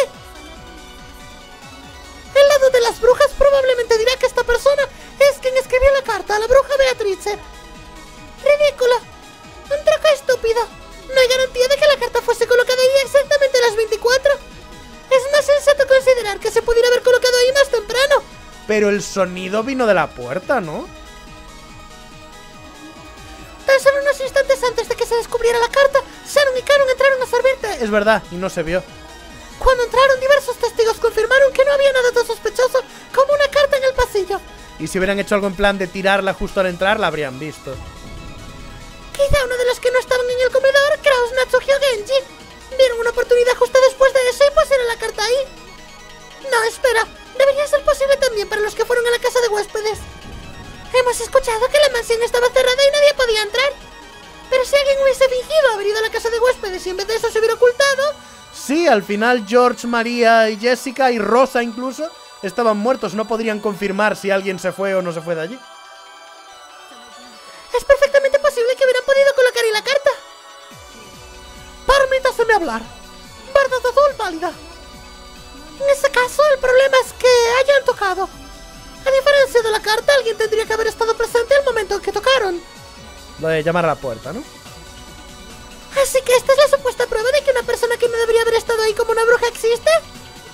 Es completamente ridículo. ¿Acaso creen que yo, puro de Erika, me rendiría ante algo así? en primer lugar, podemos dudar de si el que tocara la puerta siquiera algo golpeando la puerta del comedor en lo absoluto. O sea, una grabación, algo de un reloj. Por ejemplo, puede haber una columna en el segundo piso que debido a la estructura de la mansión haga un ruido al ser golpeada que se transmita a través de esta y suene tal y como cuando alguien toca la puerta para quienes estén en el comedor. No es imposible. O podrían haber confundido algún otro sonido como un golpe con la puerta y todos lo interpretaron de la misma manera. O quizá el sonido grabado de un golpe en la puerta lo que utilizaron. Y cuidadosamente planearon que sonara justo en ese instante. Ay, por Dios. Me está haciendo. Pensé que Erika hablaría con señores, ¿sabes? No pensé que llegaríamos al punto en que todas las voces al mismo tiempo serían increíblemente agudas. Esto es muy agotador, gente. Dadle a like, ¿no? Dadme un like, no seáis así que me estoy esforzando. De todos modos, se me ocurren muchas formas de hacerles escuchar un golpe. Incluso si no había nadie al otro lado de la puerta. ¿Qué le parece, ama? ¿Qué le parece mi razonamiento? ¿Ves? Bercastel está bien porque habla más flojito. Bueno, ya has oído. ¿Qué tal lo hizo? ¡No! Bueno, parece ser que tu linda pieza se esforzó mucho para pensar todas esas verdades azules. La Delta tiene la peor voz de todas. Así que supongo que seré buena y le daré unas cuantas verdades rojas. Supongo que comenzaré con la carta. Hubo un golpe a la puerta cuando sonó la campana del gran reloj a las 24. Y cuando se abrió la puerta había una carta en un sobre con un águila de un ala. Es muy obvio suponer que las personas que estaban en el comedor pusieron la carta disimuladamente ahí, ¿no? Kraus, Natsuki y Genji ni siquiera tocaron esa carta. Ajá. Entonces, cuando Sharon y Canon entraron a servir el té, ¿quién fue el último humano en entrar al comedor? Digamos que fue Canon. ¿No hubiera sido fácil que Canon, la última persona en entrar, hubiese dejado caer la carta al cerrar la puerta? Mm, si la dejó al cerrar la puerta... ¿Ni una sola persona en el comedor? No, se puede decir de una forma más sencilla. De entre todos los que estaban en la mansión a las 24, ni una sola persona de ellas puso la carta en el pasillo. Vale. A ver, ¿qué estaba intentando decir? Porque lo de ninguna de las personas en el comedor la puso. Le dice que, que nadie que estaba en la mansión a las 24 puso la carta en el pasillo. Pero después de entrar, porque ellos no entraron a las 24, ellos entraron, estuvieron un ratito y entonces fueron las 24 y entonces llamaron. Pero si después de entrar ellos alguien dejó la carta y después de un rato tocaron a la puerta, ¿sabéis? Si alguien de fuera de la, de la mansión o que estaba dentro en ese momento dejó la carta y se fue de la mansión y otra persona de las que estaban dentro, yo que sé, Nanjo, eh, no sé por qué me he inventado que Nanjo se coló, yo que sé, eh, Kraus o Natsuki o quien sea, fue para allí y tocó la puerta con la carta ya en el suelo, en realidad se cumpliría. ¿Por qué hacerlo de esa forma tan extraña? Sinceramente no lo sé, igual esperaban a esa hora... No, porque... Bueno, esto no ocurrió de verdad, es solo el cuento de la bruja, así que puede haberlo diseñado así solo para poder decir esta palabra estas, estas palabras rojas, no sé hablar. Entonces no puedes decir que nadie la tocó. Por supuesto que no. La tocaron cuando la tomaron. No puedo decir que ninguno la tocó. Ya veo. Entonces interpretémoslo de este modo. Alguien que existía fuera de la mansión a las 24 colocó una, car- una carta en algún lugar distinto al pasillo previamente. Luego fue movida de alguna forma y terminó en el pasillo. Entonces me estás diciendo que a lo que se refería... Espérate. A ver, de entre todos los que estaban en el pasillo, ni una persona de ellas puso la carta en el pasillo. Ah... Vale, lo estoy interpretando de una forma un poco rara, ¿no? Eh... Y luego fue movida hasta el pasillo. Solo como ejemplo, digamos que estaba pegada a la parte inferior del carrito de servicio que empujaban los sirvientes. Mola, porque esta la habíamos dicho en la anterior. Pensé en decirla ahora, Pero después pensé, no, porque... Bueno, espera, ¿entran con el carrito por delante o entran de espaldas con el carrito por detrás? Porque si entran de espaldas con el carrito por detrás es distinto. Digamos que estaba pegada a la parte inferior del carrito de servicio que empujan los sirvientes. Simplemente estaba pegada de forma que se despegara después de un plazo de tiempo. Cuando se cayó se convirtió en la carta que dejó la bruja, que no debería haber existido. Demasiada casualidad que quedase justo en la puerta, tendría que haber sido intencional. En otras palabras, es un truco... A, a no ser que el pegamento fuese muy flojo y que hubiese traqueteo porque haya alguna clase de pequeña barrera entre pasillo y, y sala, ¿sabéis? A lo mejor la pieza está de madera que tienen a veces las puertas, o a lo mejor la moqueta o lo que sea, y que al pinzarse ahí haga taca-clac, y que eso sí que puede hacer que se caiga. Eh, ¿dónde estamos? En otras palabras, este es el truco clásico en que el verdadero remitente se inventa una coartada al hacer que la carta aparezca en un momento distinto. Permítame hablar. Verdad o sol válida. En otras palabras, el hecho de que haya caído justo fuera del comedor fue solo buena suerte del culpable. Demasiada casualidad. Sobre todo con el tema de tocar a la puerta y tal, no tiene sentido. En el peor de los casos, podría haber ocurrido en la cocina, pasillo incluso de- dentro del comedor mismo. ¡Ah, God! Si hubiera ocurrido dentro del comedor, habría sido incluso más maravilloso. A la vista de todos, repentinamente habría aparecido una carta en el suelo. Y ni siquiera habría violado la verdad roja que dice que nadie en la habitación del comedor puso la carta. Bien hecho. Si la carta hubiera estado pegada a la parte inferior del carrito, cualquiera puede ser culpable. Eso podría funcionar con la carta. Pero aplica el mismo argumento del golpe de la puerta. Intentémoslo de nuevo, ¿vale? Por favor, prosigue. Ni Kraus, ni Natsuki, ni Genji llamaron a la puerta. Vale. O sea que los tres adultos que sabemos que estaban, o suponemos que estaban allí, no fueron. Esto no significa solamente que no tocaron la puerta, ¿entendido? Significa que no usaron una columna para transmitir el sonido, ni presionaron un botón para activar una grabación, o crearon ese sonido de golpe de ninguna forma. Por supuesto, se aplican métodos directos, indirectos, intencionales, no intencionales y de coincidencia. Ya se ha encajado esta cuchilla, pero lo repetiré. Quizá alguien más que Kraus, Natsuki o Genji golpeó la puerta. O hizo un sonido que podría malentenderse como tal. Por favor, permítaseme hablar. Hágase saber que a las 24, excepto por Kraus, Natsuki y Genji en el pasillo del segundo piso y todas las personas en el comedor, no existían humanos dentro de la mansión. Dentro de la mansión. Mm, Vale. A ver. ¿Estás haciéndome una de esas de muebles y demonios y brujas? ¿O porque has dicho humanos, no nadie? A lo mejor alguien entrenó a una urraca para que lo hiciera. Por favor, permítaseme hablar. Además de Kraus, Natsuki y Genji, ninguno de los del comedor tocaron. Tocaron se refiere a cualquier evento directo, indirecto, intencional, no intencional y por coincidencia que pueda crear un sonido de golpe. Tocar directamente se refiere a que alguien literalmente golpee la puerta con el fin de crear tal sonido. Tocar intencionalmente se refiere a que alguien cree un sonido de golpe falso para que parezca que alguien más lo hizo. Tocar no intencionalmente se refiere a que alguien cree un sonido de golpe falso sin pretenderlo. Y tocar por coincidencia se refiere a que algún tipo de coincidencia cree un sonido de golpe falso. Básicamente esto significa que es imposible que cualquiera dentro de la mansión ocasionara el sonido de un golpe. En ese caso, cualquiera también incluye a cualquier persona que pueda haber pasado desapercibida. ¿Y qué te iba a decir? Esto es dentro de la mansión. ¿Qué pasa con fuera? Cualquiera dentro de la mansión incluye a cualquier persona desconocida X que hubiese podido entrar. Por tanto, literalmente significaba que era imposible que cualquiera dentro de la mansión golpeara sin que se permitieran juegos de palabras. Hombre, es un poco juego de palabra el hecho de que desde fuera de la mansión sí que podrías hacerlo. Ya veo. Sin importar que tanto busque, es imposible que nadie más que los que estaban en el grupo de la casa de huéspedes crearan el sonido, ¿cierto? Como por ejemplo, ¿qué tal si yo, Furuderica, hubiera grabado un sonido de golpe en una cinta y hubiese usado un dispositivo secreto para hacer que se encendiera a las 24? Por supuesto, yo no estaba en la mansión a las 24. No hay muchos problemas con eso, ¿verdad? No los hay.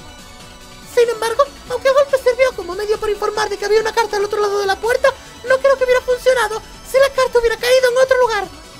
Ahí estamos. Si la carta hubiera caído en la cocina cocina, por ejemplo, no creo que el golpe hubiera servido para informar a nadie de la existencia de la carta. A no ser que el golpe sirviese para algo distinto, pero... Se me hace raro. Si el truco en la teoría de Erika de que la carta estuviera pegada al carrito de servicio fuese cierto, entonces el lugar en el que la carta se desprendiera sería cuestión de suerte. Como afortunadamente había caído cerca de la puerta, la gente en el comedor la notó debido a que tocaron a que llamaron a la puerta. Sin embargo, si fuera cuestión de suerte el lugar de, de la caída, podría haber caído en la lejana cocina, o quedarse pegada incluso después de que entraran. Si eso hubiese ocurrido, el golpe a la puerta habría sido ignorado como si se lo hubieran imaginado. En otras palabras, el golpe por sí solo no habría transmitido mensaje alguno. Solo servía en combinación a la carta. Hizo creer a los demás que alguien estaba ahí. En ese caso, la ubicación aleatoria en la que la carta se desprendió del fondo del carrito de servicio no estaría conectada con el golpe a la puerta. O dicho de otra manera, el que la carta estuviera delante de la puerta implica que el golpe fue realizado por la misma gente que quería lo de la carta. Y que querían que quedase la carta allí. Tendría que haber sido puesta confiablemente al otro lado de la puerta para que la encontrasen con el golpe. Sin embargo, se declaró en rojo que nadie en la mansión puso la carta en el pasillo. Ya, pero escucha. El hecho de que quieran que la llamada llame la atención sobre la carta no significa que quien hizo la llamada estuviera en el pasillo dejando la carta al mismo tiempo. Desde que entraron hasta que dieron las 12, alguien pudo llegar y dejar una carta, salir de la mansión y realizar un ruido que les hiciese pensar que tenían que tal. Que además dicen que nadie de dentro de la mansión lo causó, pero no dicen que el sonido no venía de dentro de la mansión. O sea, que, que en realidad alguien pudo dejar una grabación o lo que sea e irse para tener una coartada de haber estado en otro sitio, ¿sabéis? Justo a las 12 y que sonase en el pasillo. Porque dijeron que nadie de dentro lo había hecho, no dijeron que no venía de dentro el sonido. Cambiaré un poco las palabras de cerrojo para sobreponerla en el pasillo. Nadie en la mansión puso la carta en el pasillo. Ah, pero dicho así es muy raro, ¿no? Esto incluye realizarlo por todo método, sea directo, indirecto, intencional, no intencional y por coincidencia. A ver. Nadie en la mansión puso la carta en el pasillo, pero es que eso significa que básicamente me estás diciendo que alguien abrió una ventana y desde fuera de la mansión lanzó la carta. Porque es que si no, nadie pudo, o sea, ni siquiera una bruja pudo entrar a poner la carta. Bueno, la podría haber teletransportado, supongo.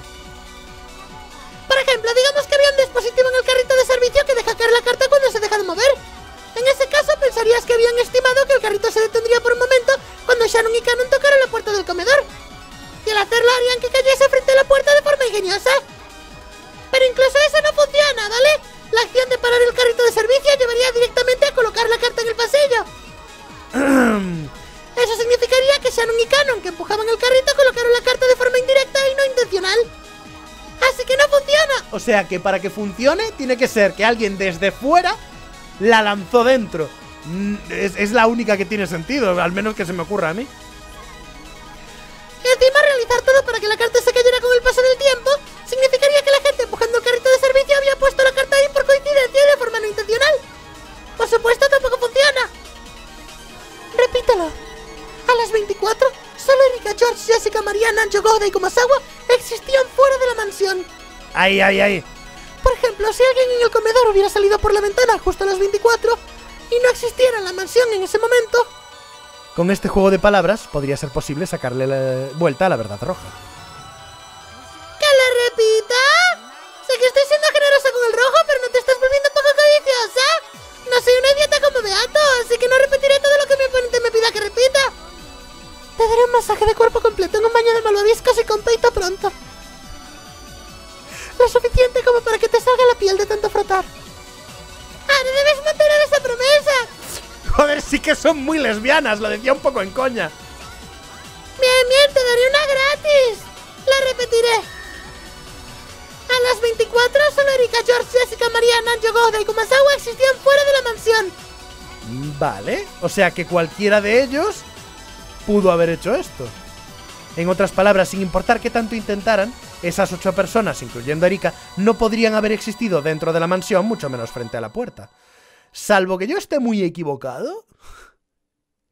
Tiene que haber una forma de dejar esa carta desde fuera, por- porque yo sé que se han hablado varias veces de ventanas de pasillos. ¿Verdad? ¿O justo ese pasillo que lleva al comedor no tiene ningún tipo de ventana? Me extrañaría sobre... A ver, puede ser, ¿no? Que al otro lado haya más habitaciones. Pero... Sí. Yo creo que al final todo esto se, se basa en, en la parte importante de ningún humano dentro de la mansión. ¿Sabéis? Entonces, un animal entrenado o, o alguien que la lanza desde la ventana. Y al mismo tiempo, sin importar qué tanto lo intentaran, aquellos dentro de la mansión no podrían haber existido fuera de esta. En ese caso, la carta podría haber estado pegada al techo del pasillo en vez del carrito de servicio. El techo del pasillo es increíblemente alto, así que incluso si la carta fue pegada abiertamente, nadie la notaría. De esta forma, ciertamente caería en el pasillo. Y se puede dar la vuelta al rojo si alguien fuera de fuera de la mansión lo hizo. Good job, Joe. Por favor, permítaseme hablar. La carta nunca existió en el techo del corredor. Por favor, permítaseme hablar. Se pasa que la carta nunca tocó el carrito de servicio. ¿A quién le importa eso? De todos modos, alguien de fuera de la mansión usa un truco para colocar la carta ahí. Si intentan usar la carta y el golpe a la puerta para argumentar que Beatriz existe, no funcionará contra Forubérica. Por favor, permítaseme hablar. Era imposible para cualquiera fuera de la mansión influir algo dentro de la mansión alrededor del momento de la conferencia familiar. Uh, vale. A ver.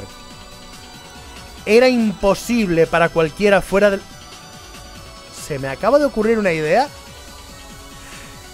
que es muy estúpida. Pero técnicamente,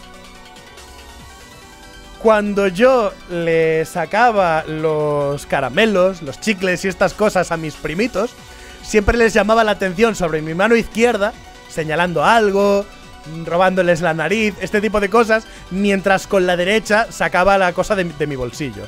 ¿Por qué? Porque el truco era bastante evidente cuando podías llegar a ver la mano derecha, pero se hacía muy difícil de, de vislumbrar si lo único que sabías de la mano derecha era que de golpe estaba sacando algo de detrás de tu oreja. ¿Qué pasa si me están llamando tanto la atención sobre quién y cómo y cuándo y dónde y por qué movió la carta? Si es que en realidad la carta estuvo ahí desde el principio. Y lo que pasa es que la destaparon. Que la carta estuviera ahí, hubiera alguna clase de alfombrín o un poco de. mm, de moqueta por encima, no, no me acuerdo mismo qué tipo de suelo tienen ahí. Pero que hubiera cualquier cosa de ese estilo. Incluso me serviría un. Una. Una cosa de estas que se dan la vuelta, ¿sabes? ¿Qué pasa si la carta siempre estuvo ahí desde el principio? Y lo que pasa es que revelaron que estaba ahí, destaparon lo que la tapaba, quitaron lo que la ocultaba. Nadie habría movido la carta en esa situación, ¿sabéis? Era imposible para cualquiera fuera de la mansión influir algo dentro de la mansión alrededor del momento de la conferencia familiar.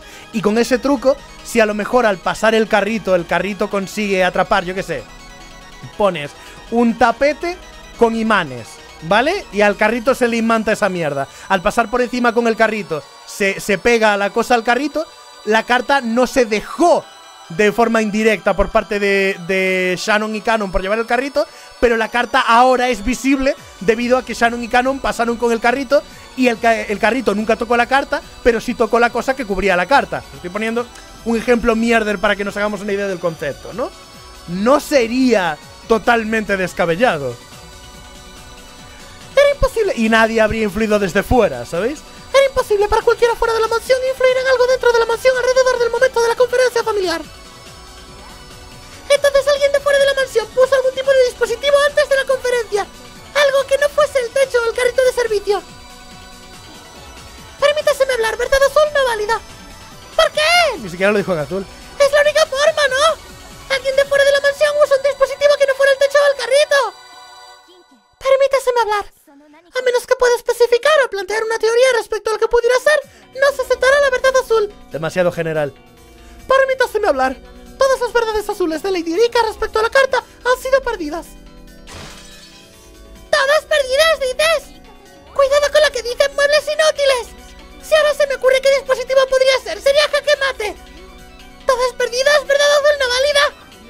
Yo soy la detective Furudo.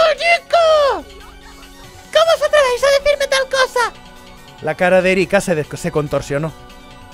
Estas palabras, que parecían negar a la Erika misma, no, a su razonamiento, eran la peor forma de tortura y humillación que podría haber recibido. ¡Y merecida! Miss Erika, ¿por qué no posponer el acertijo de la carta por ahora? Su estaca azul sobre que alguien afuera de la mansión reprodujo un sonido grabado sigue siendo válida. Si fue posible para un sonido, es posible que funcionase para una carta también. Cuando Erika estuvo por ir a agarrar y tirar del cabello de Gertrude, Lanor intervino con esas palabras. Así es, mi verdad azul respecto al golpe de la puerta sigue siendo válida. No es verdad que todo haya sido negado. Ama, resolver el acertijo de la carta sin fallos. Permítame posponerla. Sin embargo, definitivamente resolver el acertijo del golpe de la puerta. Hacerte con la estaca azul de que alguien fuera de la mansión arregló una grabación o algo así para que sonara como si golpease la puerta. Berna, tu pieza sí que es tierna. Muy animada. Bueno, te está gritando que le perdones porque resolvió uno de los dos, aunque se haya rendido con el otro. ¿Le perdonarás? Bueno, déjame ver. Normalmente nunca perdonaría a mi propia pieza por rendirse. Pero si has logrado resolver uno de los acertijos, supongo que lo pasaré por alto ahora. ¡Ah, ¡Ama! Cuando Berncastel dijo que lo pasaría por alto, Erika no pudo ocultar su alivio. ¡Entonces haré del castigo, Erika-chan! ¿Tú no la perdonas? ¡Oh! Le jodió la prueba azul. Ninguno de los... A lo mejor esto era toda una actuación para. para llamar a su espíritu sádico, ¿sabéis? Ninguno de los personajes identificó erróneamente un sonido de golpe en la puerta. ¿Eh? ¿Qué se supone que significa eso? Identificar erróneamente un golpe en la puerta se refiere a lo siguiente. No confundirían un sonido muy similar al golpe con un golpe verdadero. Golpear una columna para hacer un ruido similar al de un golpe no funcionaría. Cuando grabas un sonido y lo activas, se convierte en el sonido de un golpe de puerta grabado en una cinta, no en un sonido de golpe. Así que eso tampoco funciona. En otras palabras, todos identificarían correctamente el sonido de algo verdaderamente golpeando la puerta. Y definitivamente no lo confundirían. Lambda Delta ha dicho que, la- que ninguna persona de dentro de la mansión a las 24 puso la carta. Nunca dijo ninguna persona dentro de la mansión a las 24 llamó, ¿verdad? Me parece que nunca dijo. ¿Lo dijo? Mm, ahora no estoy seguro. Porque, a ver... No, dijo... Es verdad, es verdad, es verdad. Dijo que la gente que estaba dentro de la mansión no fue y, y nombró a todos los que estaban dentro de la mansión, menos a los que estaban dentro de la propia sala. O sea, que alguien de dentro de la sala tendría que haber llamado a la puerta y ese truco la verdad es que no se me ocurre cómo lo pudo llevar a cabo. Aunque si estamos tomando como que tú eres quien lo hace, aunque lo hagas de forma indirecta y tal, quizá alguien de dentro de la sala pudo darle un botón que activó un martillito oculto. Todos identificarían correctamente el sonido de algo verdaderamente golpeando la puerta y definitivamente no lo confundirían. O sea que algo golpeó la puerta, pero no se sabe qué. No sabemos qué golpeó la puerta. Y nadie de fuera golpeó la puerta, pero alguien de dentro podría tener un hilo atado a un péndulo o alguna mierda y que eso sí golpeara la puerta. Veremos. Es completamente imposible que ningún otro sonido más que un golpe directo a la puerta fuese malinterpretado como tal. Claro, pero un golpe directo a la puerta no es lo mismo que un puño, ¿vale? Que unos nudillos de una mano humana llamen a una puerta. Además, Mi, mi mono de combate entrenado Bubbles. podría Perdón. Ha- Hace un año hicimos un rol de, de Cthulhu. Kaki, maldito, Vandal, el Rich y yo. Y, y- mientras estábamos nosotros fuera de pantalla de coña, empezamos a decir tonterías no explicadas de nuestros personajes anteriormente. Y una de ellas era que mi personaje tenía un mono de combate entrenado llamado Bubbles, al cual le podía dar órdenes y que hiciera lo que él quería. Y entonces, si Bubbles estaba dentro de la, de la de la mansión y está entrenado para darle a la puerta a las 24, pues ya estaría. ¿Qué de- Eso significa que el momento en que la campana de las 24 sonó, nadie pudo tocar la puerta. ¡Ah! A ver, estaba hablando muy felizmente de un péndulo, pero precisamente el, el reloj tiene un péndulo. Y lo que es más, alguna clase de reloj de cuco de que esté delante de la puerta, podría haber golpeado la puerta. Así es, nadie. Después de todo fue la bruja de Beatrice. Así que en otras palabras, no hay forma de imitarlo y se tiene que golpear la puerta. Entonces, ¿qué tal esto? Había algún tipo de dispositivo que podía golpear la puerta. Había algo como un golpeador de puerta automático y esto hizo posible que tocaran la puerta sin tocarla con sus propias manos. Golpear significa que alguien está golpeando la puerta con sus propias manos. Uh, vale, esto se ha vuelto genuinamente complejo. No aceptaré que sea un dispositivo. en ese momento escucharon un golpe en la puerta al mismo tiempo que la campana de las 24. A ver, ella dijo que ni Natsuhi, ni... ¿Cómo se llamaba? Ni Genji, ni... Kraus llamaron a la puerta. Y ellos eran los tres que estaban dentro de la mansión pero fuera de la sala. No, no puede ser, ¿verdad? Porque no puede ser que estuvieran Canon y Shannon cerca de la puerta y alguno de ellos con la mano en la espalda hiciera... ¡Ah, vaya! ¿Qué ha sido eso? ¿Verdad? O sea, no, ¿verdad? No, no, no estamos así de locos, ¿verdad? En ese momento escucharon un golpe en la puerta al mismo tiempo que la campana dio las 24. Todos los de dentro del comedor definitivamente lo escucharon. Y ninguno de ellos identificaría erróneamente un golpe en la puerta. Kraus, Natsuki y Genji no estuvieron involucrados con el golpe. Nadie más existía dentro de la mansión.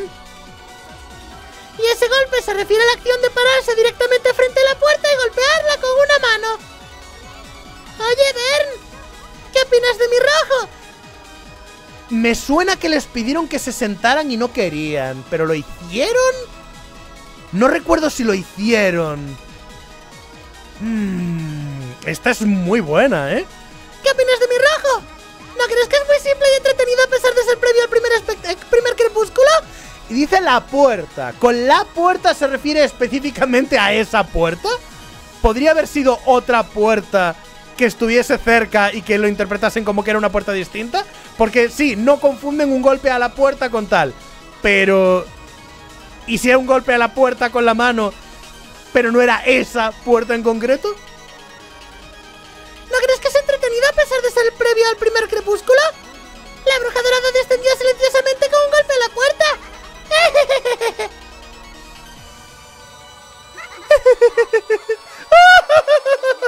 interesante, verdaderamente interesante, Lambda. No lo cambiaría por nada.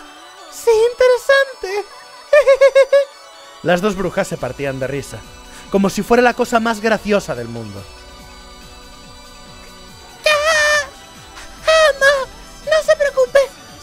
De tiempo mis pequeñas células grises, definitivamente encontraré una respuesta para este patético rojo. Colombo ya lo habría resuelto. De verdad, estoy decepcionada, Erika. Me has aburrido.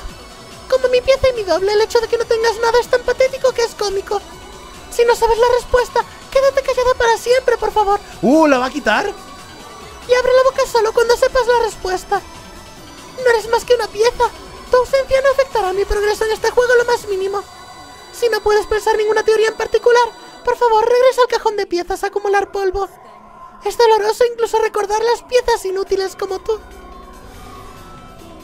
Verne es bastante olvidadiza. Si no te esfuerzas más, Verne te olvidará, ¿sabes? Acumularás polvo en aquel cajón de piezas olvidadas esperando un turno que jamás vendrá. Me imagino que sería dura, ¿no? No se preocupe, Lady Delta y mi ama. Prometo que las mantendré entretenidas y no las decepcionaré de nuevo. Oh, qué alivio. Supongo que eres mi doble después de todo. A ver, una Mary Sue auto-insert no puede fallar. Entonces asegúrate de que de verdad estás esforzándote lo más que puedas, de diversas maneras. Si no causas un impacto, podría olvidarme por completo de ti. Mm. Mientras ambas brujas se reían, continuaron discutiendo la carta y el golpe en la puerta. No había lugar para que Erika interviniese. Si se conformaba con eso, literalmente se quedaría sin dónde ir y sería enterrada en el olvido eterno. Erika aguantó con una expresión horrible, mirando con vergüenza la espalda de la ama que la ignoraba. Con ambos puños apretados, pensó apresuradamente en algún escape. Soy la detective. Yo soy Furudo Erika. Soy la pieza doble y sirviente de la gran Lady Berncastel. Definitivamente la dejaré satisfecha. Lo haré. Definitivamente, definitivamente. ¡Oh, Shiromilla Butler! ¿Cómo te atreves a humillarme así? Mientras estaba allí parada, ignorada por las brujas y envuelta en la oscuridad, se veía como si alguien le hubiese dicho que se parase sola en el pasillo. Como si estuviera castigadita. Y entonces... Oh, pensé que se le habría ocurrido justo una, una idea al final. Choves en fin Pero ti estás longe de min Eu sigo aquí só a sentir Só a sentir Con el crimen de temprano en la mañana nos habíamos olvidado por completo del desayuno. ¡Pobre Goda! Así que ahora habíamos tomado nuestra primera comida del día a una hora a la, que se- a la que nunca se podría haber llamado desayuno. Incluso la maravillosa comida de Goda, que supuestamente había estado preparando desde ayer, no trajo alivio alguno. Los diversos asientos vacíos nos abrumaron con una tristeza llena de dolor. Luego, en medio de esta comida que parecía una, una vigilia, Erika de pronto se, se paró. Todos se enfocaron en ella para ver qué ocurría. Su expresión estaba en el borde entre el alivio y la locura, como si hubiera hecho un descubrimiento increíble. Oye, ¿qué te pasa? ¿Estás bien? ¡La tengo! ¡La tengo! ¿Creías que no lo entendería? Sí, la tengo, no hay forma de que pudiera ocurrir tal estupidez. Con una expresión fea cubierta de sudor frío, Erika midió- miró con odio y se dirigió a Butler. ¿Qué pasa? ¿Qué entendiste? No hay forma de que pudieras haber saltado del estudio del tercer piso. Ninguno de nosotros te vio caer y aterrizar en el patio. Así que es el, el gemelo malvado, la versión oculta. Cuando pusiste la escalera desde a Rudolf Sand subir para llegar a la ventana del tercer piso, observaste cuidadosamente la construcción de la pared exterior y te diste cuenta de que al usar un ducto de la lluvia sería posible bajar al patio de la ventana desde el tercer piso. ¡No saltaste! Pero daría igual. Porque uno, lo hizo muy rápido. Y dos, el viejo podría haber hecho lo mismo. Usaste un ducto de lluvia o algo así y torpemente bajaste por la pared exterior. ¿Qué opinas de mi verdad azul? Vamos, ¿cuál es tu contraargumento? Eso era lo que estabas pensando, idiota. ¿Mi contraargumento? ¿No tienes uno? Entonces mi verdad es válida, ¿no? ¿Escucharon? Puede haber parecido que saltaste dramáticamente, pero era toda una ilusión. Solo saliste y te aferraste un ducto de lluvia. Mi argumento de entonces era sobre si era posible que el abuelo escapara del estudio o no. Y es posible que el abuelo pasara por la ventana. Todo lo que hice fue para probarlo. El que haya saltado o bajado de otra forma no cambia eso. ¡No intentes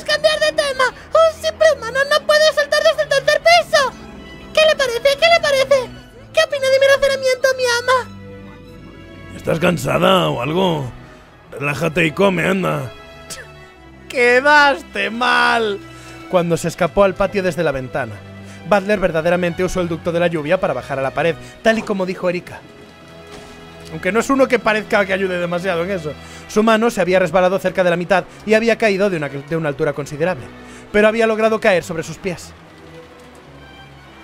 Nadie lo había visto, pero probablemente todos en el comedor, excepto Erika, se habían dado cuenta de que habría hecho algo por el estilo. Desde el comienzo, nadie había creído que hubiese saltado desde la ventana del tercer piso, incluso si no lo hubiesen visto directamente. Así que no tenían ni idea de por qué se estaba quejando Erika de pronto. Y empezaron a susurrar, mirándola fieramente con ojos dudosos. ¡No! ¡Están asesinando a la Merisu, gente! ¡Haced palomitas! Porque lo veremos en el próximo episodio de Chur- Chumine, Chirumine Cobiotas 2, La venganza del ogro. ¡Os quiero! ¡Chao!